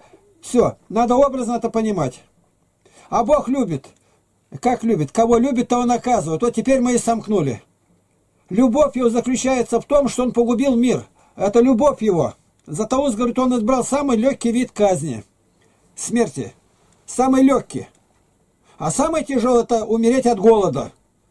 А утонуть от самой легкий. Поперхнулся на дно, и ничего нет, он даже не почувствовал нигде. Я попутно, даже о Ниневе разобрались. Заха. И Иов говорит, стоило ли вам за Бога припираться и лгать? Это ко всем. За Бога не надо припираться. Иов это сказал, и он испытал. Дальше. Ну, а насильно сказали, что а, люди сомневаются, а почему именно шестерка? Это особый вопрос. Каждое число, оно несет в себе какую-то информацию. Этим люди занимаются, и это не каббалистика. Определенно, делится оно, не делится. 13 не делится ни на что. Его считают чертова дюжина, а 12 делится, 14 делится. И вот представьте сейчас, сколько люди в мире говорили, сколько написали музыкальных разных, конца краю нету. Но вот, мы, тут человек нашел со мной, как Сергей Александрович, и, и там меня стоит на складе, лежат на складе, лежат, лежат там, э, ну, мои книги, там, симфонии, их надо животворить. Он в виде книги их сделал и напустил музыку. Ну, а какую? Я говорю, ну, возьмите Себастьяна Баха, «Страсти Матпея», ну, там, пятую симфонию Бетховена, то есть то, что я знаю. Только не берите Вагнера и Скрябина. Этих не надо, это там чистый сатанизм у них идет. Я глухой, а маленько Ну, чуть-чуть слышал а, это. И он так и сделал. И когда выставили, сразу же рядом синяя черта, что вы не можете выпускать это, потому что вы воспользовались чужим трудом. А кто он умер? Ну, я поговорил, говорит, нет, это техника выставляет. А сколько выставляют каждый день? Нас сколько здесь, сколько раз заходим? Это ужас один. У меня стихотворение 3467. Так мысленно придумай. И в нем в каждом 36 строчек. Умножь на 36. Я заряжаю любую строчку, а это 100 с лишним тысяч строчек. Я заряжаю и по одной строчке нахожу любое стихотворение. Как это можно было сделать? Никак, это техника. Она шагнула далеко вперед. Ну вот мы были, когда переговорный пункт был, люди ждали, когда вызовут с Камчаткой. Номер такой-то, проходите, кабинка такая-то. И кто-то сказал бы, что сами уберете эти кабинки. Не поверил бы. А теперь убрали? У меня самая современная пишущая машинка стоит. Мне говорят, придет время, уберешь ее, другой изобретут. За- да что-то пойду туда. У меня св- своя здесь клавиатура. Так и здесь. Оно неожиданно и так получилось. Семикратно в день прославляю тебя за что? За суды правды твоей. Он судит, Бог наказывает, но это по правде. И поэтому он не гневается. А за что? За дела. Но не дела наказывает, а Бог. Бог. Ну не люди же потоп навели, не люди же с неба огонь не извергли. С неба пал на Содом. Кто наказывал? За что? Не надо путать. За что? За Содом и грез. Мужчины, разжигаясь похотью друг на друга, делая срам и получая в самих себе должное, за должное заблуждение, возмездие. В самих себе сами. Это приговоры, но наказывает Бог. Огонь его, и огонь он не спосылает. Он. Это люди Богу льстят, Бог никого не наказывает. Когда, ты считай, Иван, это Еремия 15.6. Запишите себе. Книга пророка Еремия 15.6. Прямо говорится. Бог говорит, я устал миловать. Ты отверг меня, и я погублю тебя. Я, я стоит. Не дела мои, за дела это за что? Я погублю тебя. Во сне отниму дыхание. Я наведу тебя, с, с неба камни будут падать. С неба падают камни, написано. И побили людей больше, чем во время сражения. А, а где на небе камни-то? Где? Как бы ты ни понимал, что, но камней мы не найдем. Но однако они вдруг образовались и начали долбить людей. Бог наказывает. Из головы выброси это, что Бог именно наказывает. Вот Роман Фроликов говорил, он говорил абсолютно на 100% правильно. К нему не прислушались почему-то. Ну, за меня решать вы... Как решать? Отрекусь я, не отрекусь я, и сам не знаю. Бог знает. Дальше. Вот Господь говорит, простое дело, не платите десятину. Ну и что, я не ворую. Проклятием вы прокляты. Это означает, стоит монументальная гора проклятия, и этим проклятием, ну, скажем, электроволны излучает, она погубляет меня, у меня ничего не будет ладиться, у меня не будет настроения, меня болезни со всех сторон охватит за одну десятину. Кто это наказывает? Люди, соседи. Ясно, что Бог. Вы меня обкрадываете, поэтому обкрадывает я за то, что я обкрадываю. Это за что? Но наказывает Бог. Малахия, 2 3 глава.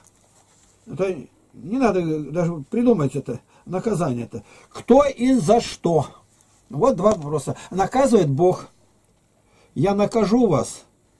Я не свергну вас. Я погублю вас. Я стоит. И за Бога не надо решать. Святая Библия пока я стоит местоимение. Я погублю. Я наказываю. Притом безмерно.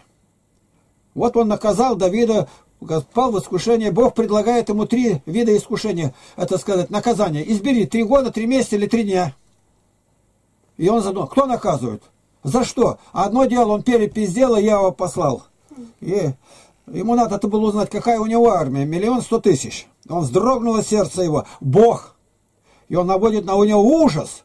И он пришел в страх, как Яков боролся. С кем он боролся? Не за дела свои. Зачем от Бога отнимать его качество?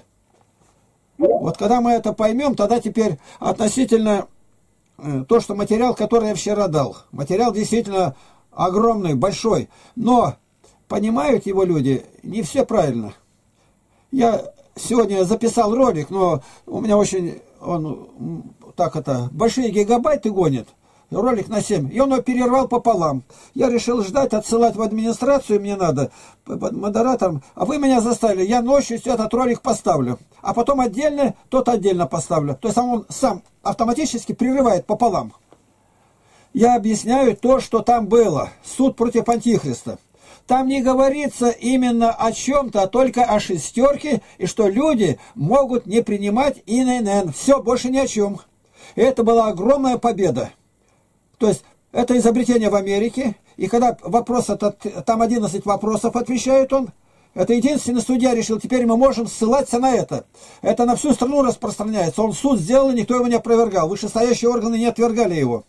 На него просто ссылаться и все. Действительно, я преподавал в одном университете 18 лет, и ректор мне знакомый, он меня просто насел, получи деньги, получи, ну 18 лет.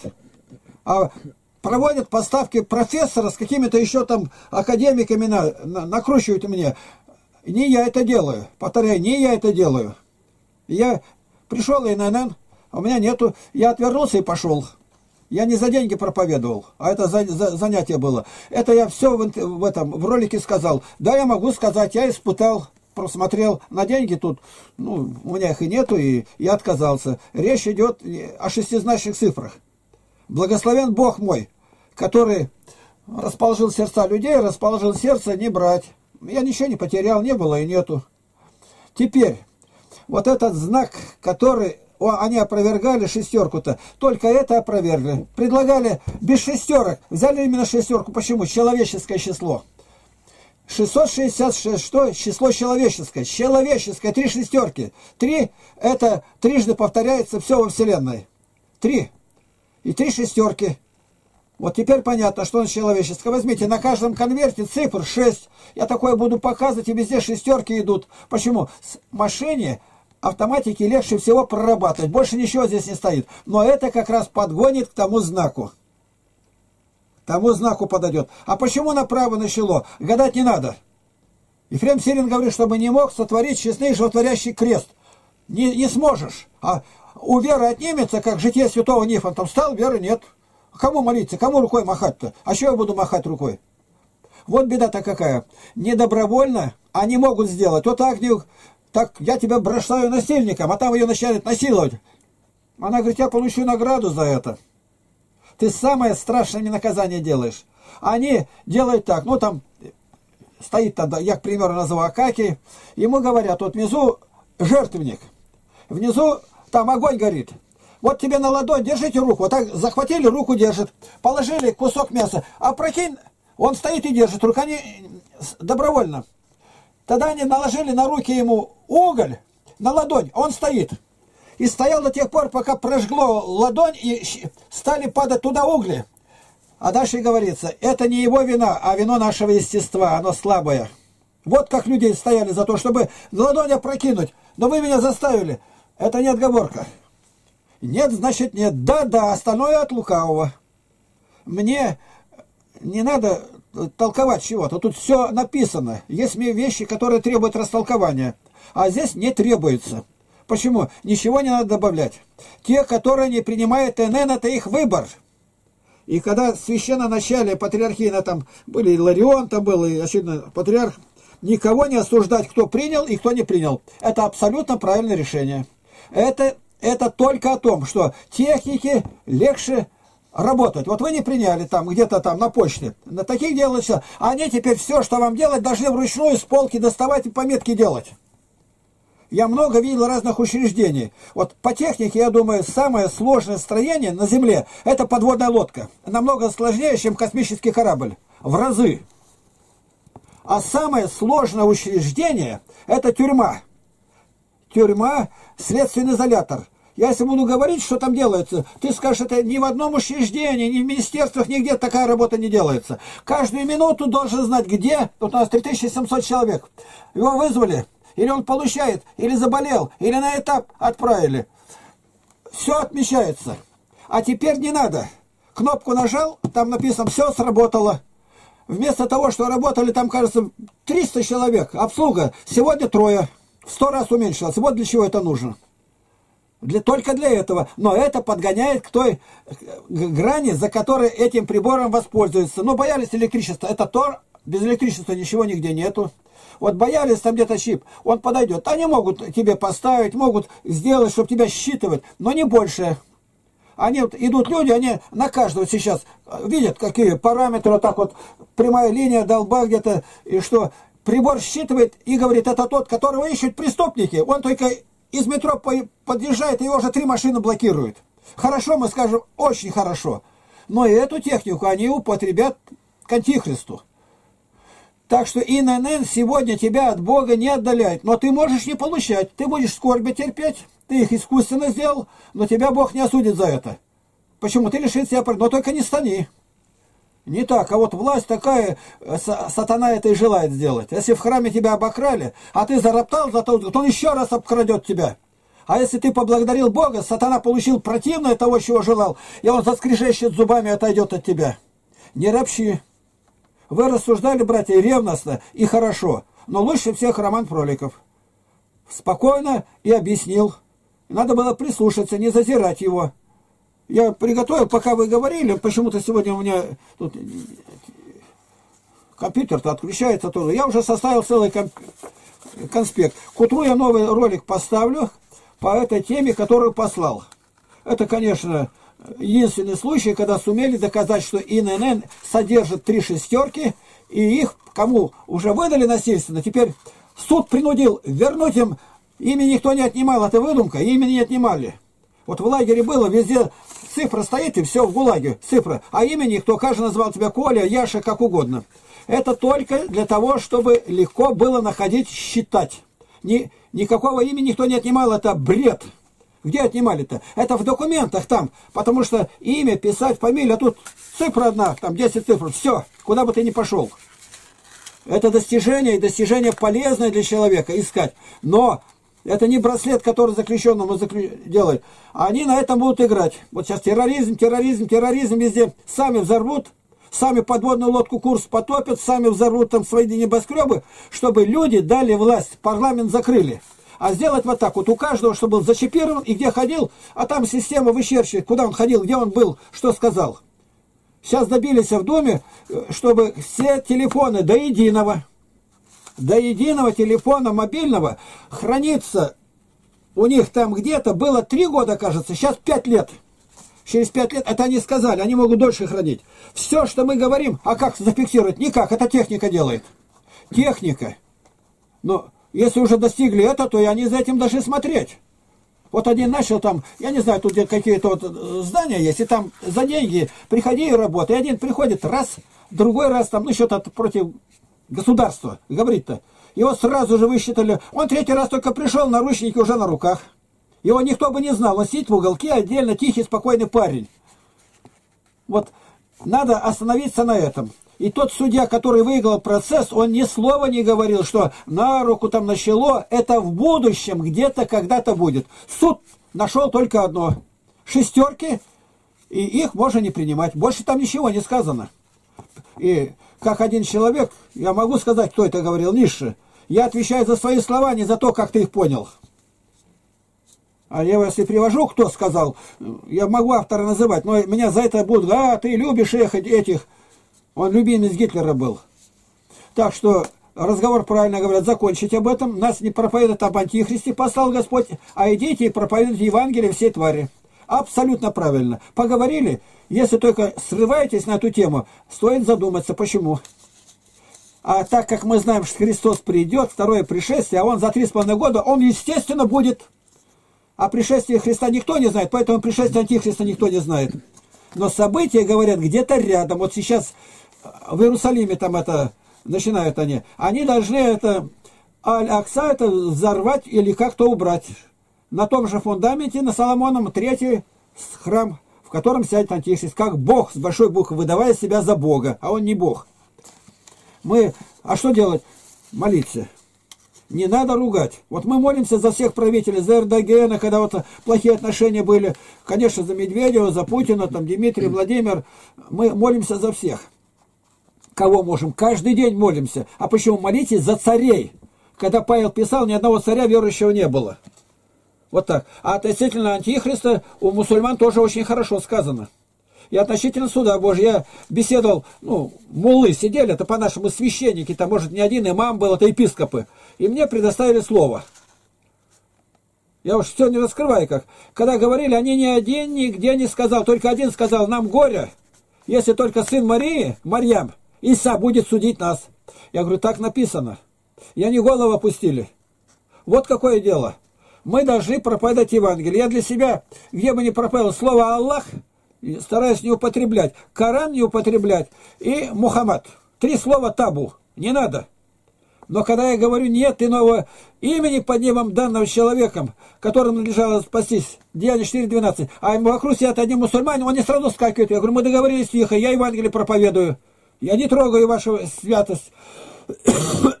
Дальше я говорю, верующий в Сына Божия имеет жизнь вечную, не, неверующий не увидит, но гнев Божий, не человеческий. Веры как? Я верю, не верю, разве сосед знает? Грехов никаких нету, но я неправильно верю. И написано, но гнев Божий. Все. За что ты сам определяешь? За неверие, в первую очередь. Гнев Божий Бог наказывает. И вот это придумали попы, Бог никого наказывает, это сатана делает. И в конце концов будет взрыв. Нас учили, нет, а теперь увидели, да куда Бог смотрит, да почему Он допускает, это вот к чему подкатывает. А когда мы все принимаем, что это от Бога, и Он это знает, и Он нас наказывает, Он любит, Он наш Создатель, за своим творением смотрит. Ничего особенного в этом нет, им как же не наказывать? Кого любит, это по любви, того наказывает.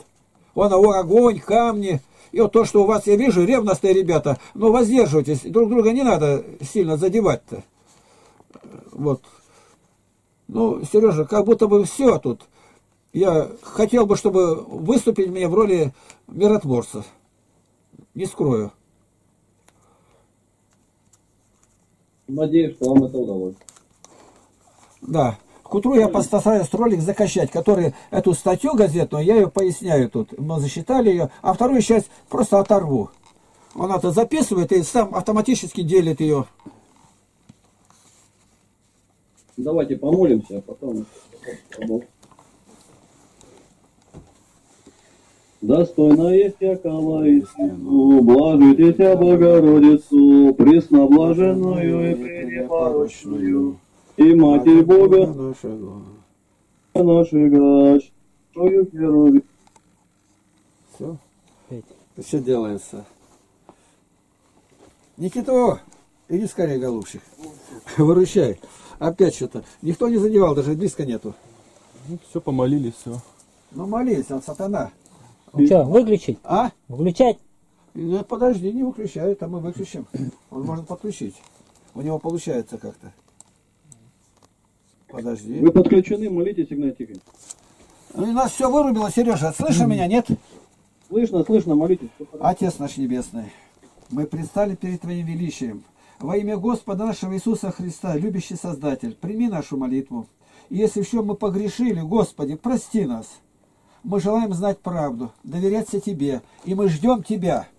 Написано, и церковь, и Дух говорят, ей, гряди, Господи Иисусе, и слышащий да скажет это. Мы просим Тебя, Господи, сохрани нас от заблуждения, чтобы никто не принял начертание зверя. Укрепи народ Твой, чтобы Слово Твое принесло обильные плоды. Мы видели нуждающихся в нашей помощи. Несли чистое Евангелие. И распусти нас с миром. Тебе хвала, честь и поклонение, и насущная, нераздельная Троица, Отец, Сын и Святой Дух. Аминь. Аминь. Сейчас Аминь. Никита что-то делает. Подожди, Никита, давай. Аминь. Посмотри.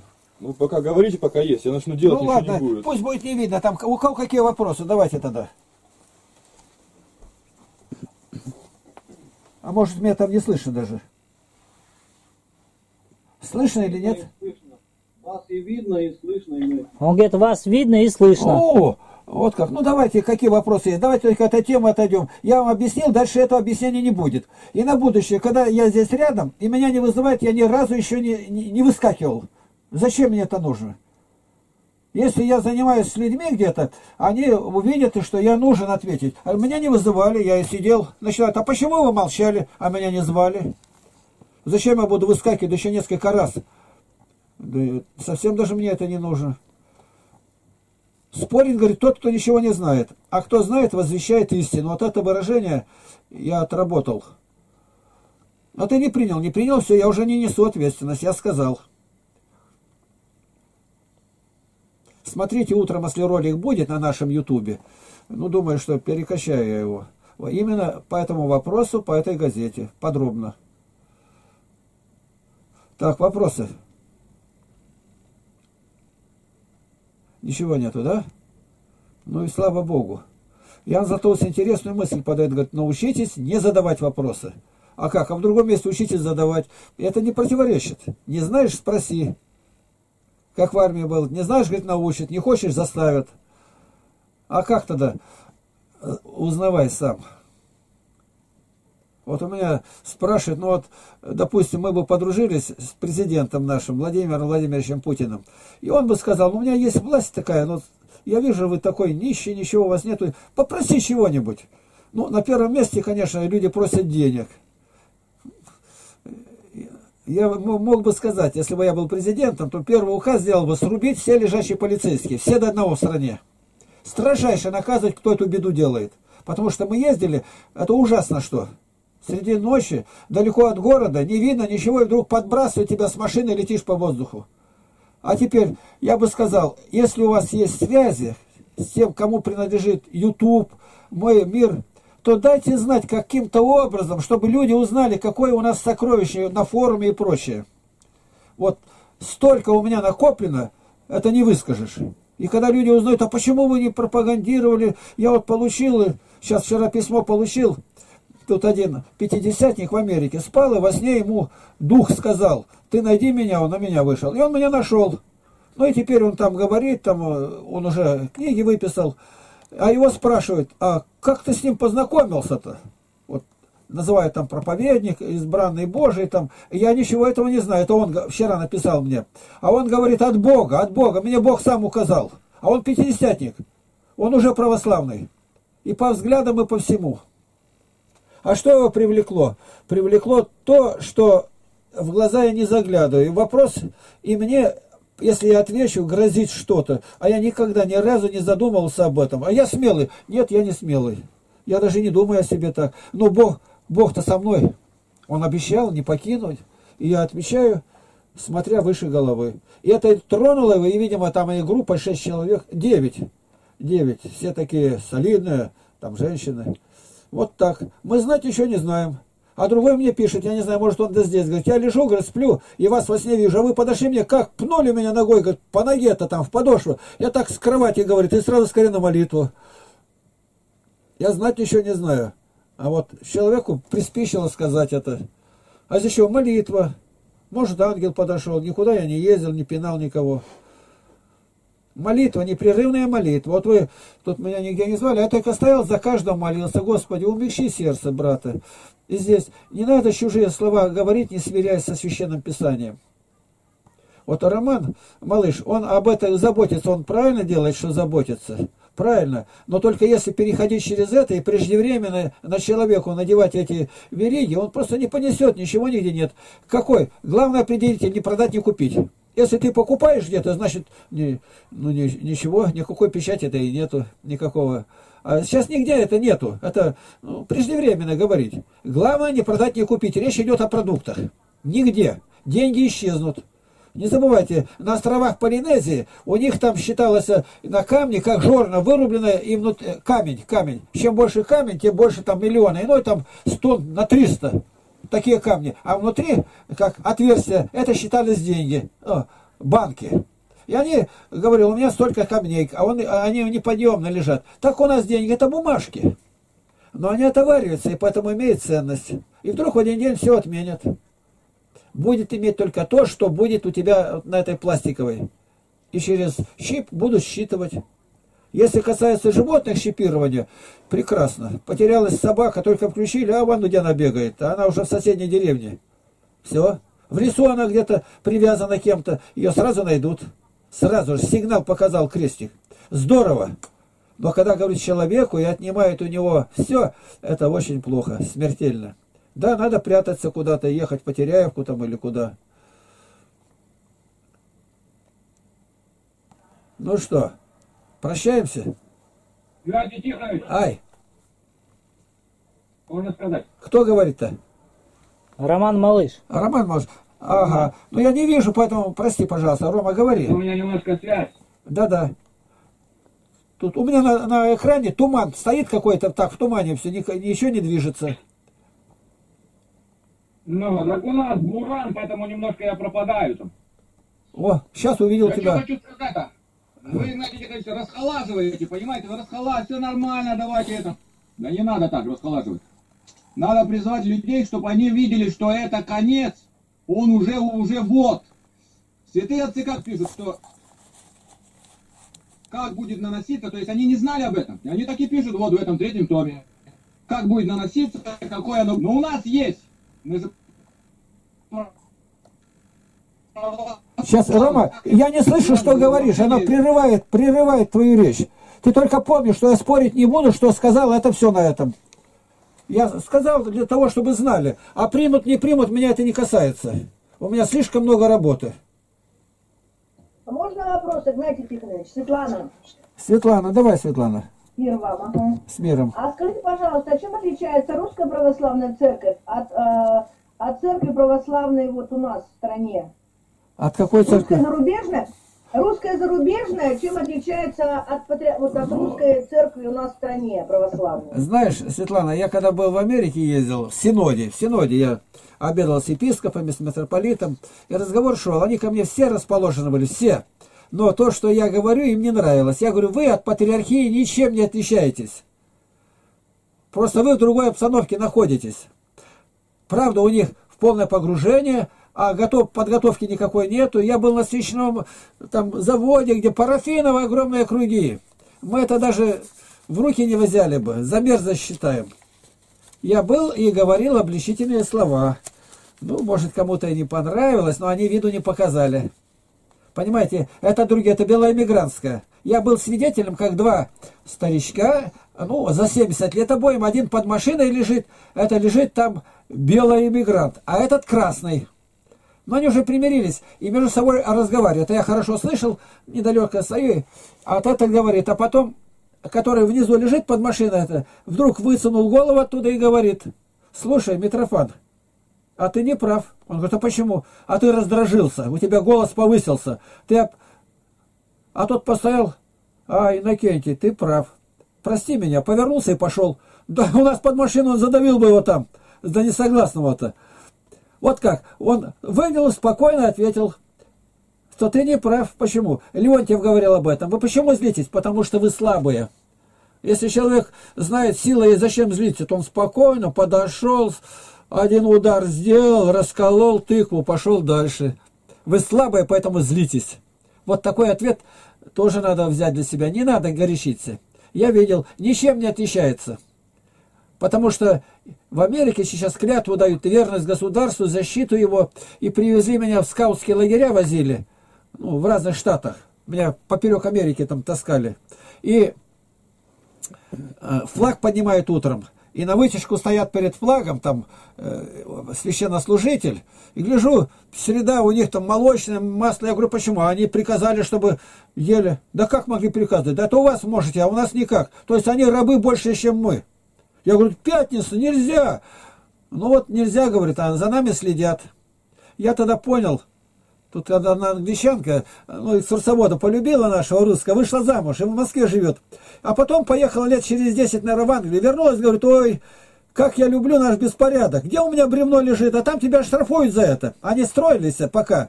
Ну и разбросано где-то, а там все ты должен прибрать. Если торговал, буквально зубной щеткой асфальт вычистить надо. А у нас ушел, там оставил, ну, дворник подберет. У меня под окном растет крапива, там лопухи, никому дела нет. А мне там бы как в Германии это счет представили бы. Поэтому нам как раз, как раз, говорит, что врач прописал. Поэтому зарубежная церковь, я там был, видел, молился, жил с ними и говорил. Ну, просто я рассказывать много мог бы говорить. Они хорошие люди. Вот у нас сейчас Иларион там, как первый святитель где-то. У него кличка там, человек, у которого нет, слова нет. Кто бы ни был от русских, там приходит, обманывает, он все равно помогает. Ну откажи ему, владыка, они же обманщики тут. Да нет, он просит, он просит. Ну что сделаешь? Вот разница есть в самом воспитании и прочее. Вера одна и та же. Декларации Сергия не было. Они этим не связаны были. В экуменизме были. Были. Патриархия пришла, они ушли. Говорит, из-за того, чтобы не сидеть на одной скамейке. Главное, были там. А экуменизм, он в бытовом уровне на каждом шагу с неверующими, зять там, едят вместе, пост нарушают. Это экуменизм, самый настоящий. А туда смотрят. Надо глубже копать. Святому показу он копает, как Симеон говорит, копай еще глубже, еще глубже. Вот любой вопрос так нужно рассуждать. А будет вечность или не вечность? Мы скажем, Библия говорит, есть вечное. Но Иосипова-то сильно ругать не приходится. Наступает вечность. Страдание любое Бог посылает, чтобы человек болел и справлялся, Бога прославлял. Там нет прославления, там ничего нет, кроме ненависти. А для чего тогда это мучение-то, которому нет конца? Католики решили сделать чистилище. Тут понятно, проходит там полтора миллиона лет, он выкарабкался уже, за него молятся, и все во всем будет Бог. Вот эта фраза у православных непереходимая. А Ориген ее перешел. Покаяние будет дано и дьяволу, и бесам, и все будут в раю, и опять они вернутся в первозданное состояние. Конечно, заманчивая идея, как печаль сатаны Мария Карелли пишет. Но Библия так не учит, она говорит именно о вечном мучении. Это меня подвигло искать истину. Вообразить нельзя никогда, нигде. Всю вселенную на молекулы разложи, и все равно конец есть. А здесь никогда. Я ужасался. Я искал. Знаю, что спасается святые, а я грешник, и мне быть в аду. Хотя я не делал, что люди делают. Ни одного матерка не сказал, там не знал женщины. Но я понимал, я грешник, не имея Евангелия. Совесть моя подсказывала, я грешник, я буду в аду. А другим говорил о Боге, пока не попало в руки Евангелия. А когда сегодня знать еще не знают, а я спасенный сектанты, это обольщение. Павел говорит, не говорю, что я достиг, но не достигну ли и я, как достиг меня Христос. Павел и то не был уверен. Мы спасены в надежде. Многие потерпели кораблекрушение в вере. Они не понимают этого. Они тупые-тупые. Ничего не знают. А как правильно верить? По Евангелию в православной вере. Православной. Вот и все. Я не согласен со многим. Но это не говорит о том, что я буду неправославный. Я не согласен, что нарушается Слово Божие. По Библии. Я вот разбор отдельно делал, у меня в книгах это отображено. Я взял патриарху Алексею II Ридигеру, задают вопросы. Ну, 60 вопросов. Он на них отвечает, они у меня в книге есть. Такие же вопросы задавали тогда Гундяеву. Он митрополит Смоленский, Калининградский был, будущий патриарх России. Ему дальше Адриан Старобрядческий. Тоже так же. И у всех примерно 1% правильного ответа, 6-7%. Остальное неверно. Да так вы понимаете, вы как, как лопнули-то, какую махину-то, на что вы замахнулись, мне говорят. Я никогда об этом не думал. Я беру Библию, толкование святых отцов, патристика, это 300 томов. Каноны, собор и жития святых, 12 книг. Когда отвечаю, я стараюсь все это припомнить. Бог дает. И вижу, он не прав. Теперь я постараюсь понять, а почему он сказал не так? В одном месте он боится, в другом месте не знает. Вот я отвечаю на вопросы, Осипов их не знает. Он не знает, почему он никогда не отвечал, и он не знает. Вот и все. Вот задают вопрос, я уже говорил об этом, наверное, отец Владимир Головин в городе Болгар, там около Казани где-то. Ну, она задает вот вопрос, а вас гордость не обуяла? Вот вы так говорите, к вам едут. Он говорит, я? Да у меня ничего нету. И сейчас начинает перечислять, вот такой-то человек. Вот смотрите, Осипов, там, профессор, вот, Алфеев, там, патриарх. Но я вам скажу еще, есть один человек, так загадочно говорит, о, горячий. И отвечает точно книгу, глава стих, и меня называют. Так вот, у меня-то, говорит, ничего нету этого, мне гордиться-то и нечем. И мне, если я знаю, где, что, они исполняют, да горе мне, лучше бы мне не знать. Поэтому проповедую другим, чтобы самому не оказаться недостойным. Вот этого надо бояться. Хорошо, что люди неравнодушные, и я не хотел никого обижать, потому что зачем мне это нужно? Я сказал, это расхолаживает, говорят, расхолаживает, да, ничего не сделаешь расхолаживает. Но когда напускает больше страху, и человек погибает без надежности, это грех намного больше. Расхолаживает, он не умер. А в чем расхолаживается он? Ничего. Я об этом сказал, никогда об этом не проповедую, а спросят, коротко отвечу. Отвечу так, как ответила священное начале Русской Православной Церкви Московского Патриархата. Не, не судите тех, кто принял, и того, кто не принял. Это дело безразличное. Но себя можешь испытать. Ответ очень простой, понятный, искренний и незлобный. Вот так. У меня вопрос еще, Игнатий Тихонович. Спаси Господи, тоже по этой теме примерно. Можно еще один вопрос? Давай. У меня брат двоюродный. Он раньше был священником, батюшкой в православной церкви Московской Патриархии.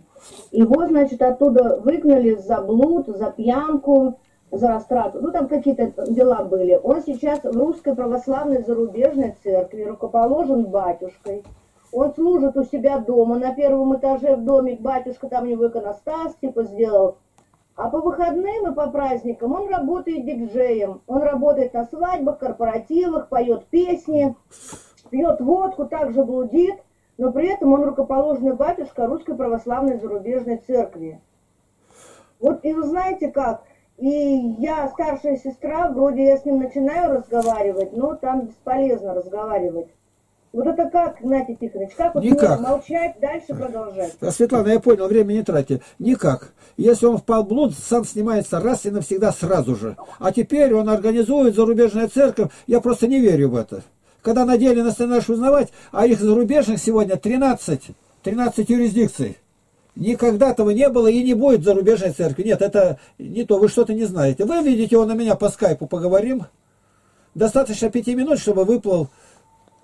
Вот Нет, он все. сказал, что он в русской православной зарубежной Да, церкви, он я- против нашей патриархии. Еще раз говорю, есть Я фальши... услышал, услышал, Игнатий Тихонович. Светлана, есть 13, заг- загни пальцы, зарубежная церковь, которая на 13 частей раскололи ее, когда вот объединение это стали делать-то. И там меня спрашивают, я точно знаю рукоположенный, это пасечник, архиепископ Тихон в Омске, Агафангел, Агафангел Пашковский в Одессе, вот, Антоний, он Антоний называется, это Никита Феоктистович Орлов, вот этот, который самые остатки зарубежной церкви он взял. Он ездит. Он к нам приезжал, по Теряевку два раза был. Я у него на дому жил в Америке. Это настоящее рукоположенное. Там ничего этого нету. А эти разные шулеры, обманщики он делает. Какой же него? У него страха ничего нет. Он обманщик. И туда идет человек совершенно мертвый. Как он пойдет, когда это открыто делается? То кому он идет-то? Ничего этого нет. Я просто не верю в это. А то, что впадает, есть такое, он впал в грех, сам снимается. И в московской патриархии его уже никогда не поставят. Но они э, защищают, бывает. Так, так все, мне звонят, так, минутку. Говори. Говори. Никого нет, отошел. Звонят. Так, все, вот что сказал бы, это как-то обдумывать и дальше второй раз не задавать. У меня другого ответа не будет. И почему мой ответ вчерашний должен быть иным, чем сегодня? Я все время занимаюсь Словом Божиим и молюсь Богу, чтобы мне не свихнуться. Не- как Сергей молится, ни направо, ни налево. Направо это разные накладные у староб... это, ну как у старобрядцев, у православных всех, там это иконы, мощи, а, а другие налево, это сектанты, садукеи. То не надо, другое не надо, 11 книг с Библии выбросили, это лево. Чтобы нас не в секты, не в нашу эту дурь не занесло. У православных столько всего намешано, ужас один. По Библии, когда говоришь, они прям трясутся в подуще, начинают тебя поносить. Я говорю, суд будет по Библии. Евангелие от Иоанна 12.48. Господь говорит, я не сужу, не сужу слово мое, которое я говорю, оно будет судить вас, оно. Поэтому задуматься надо. Все.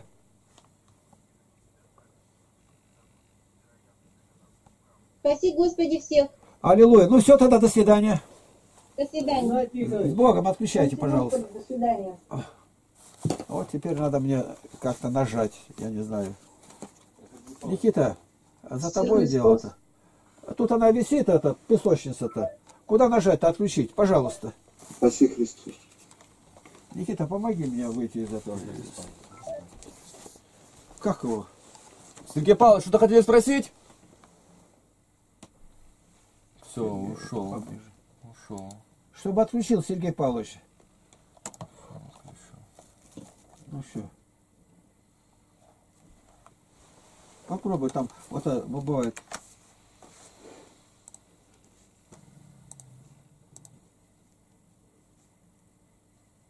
Что сделалось, я не знаю. Ну все тогда, закричали.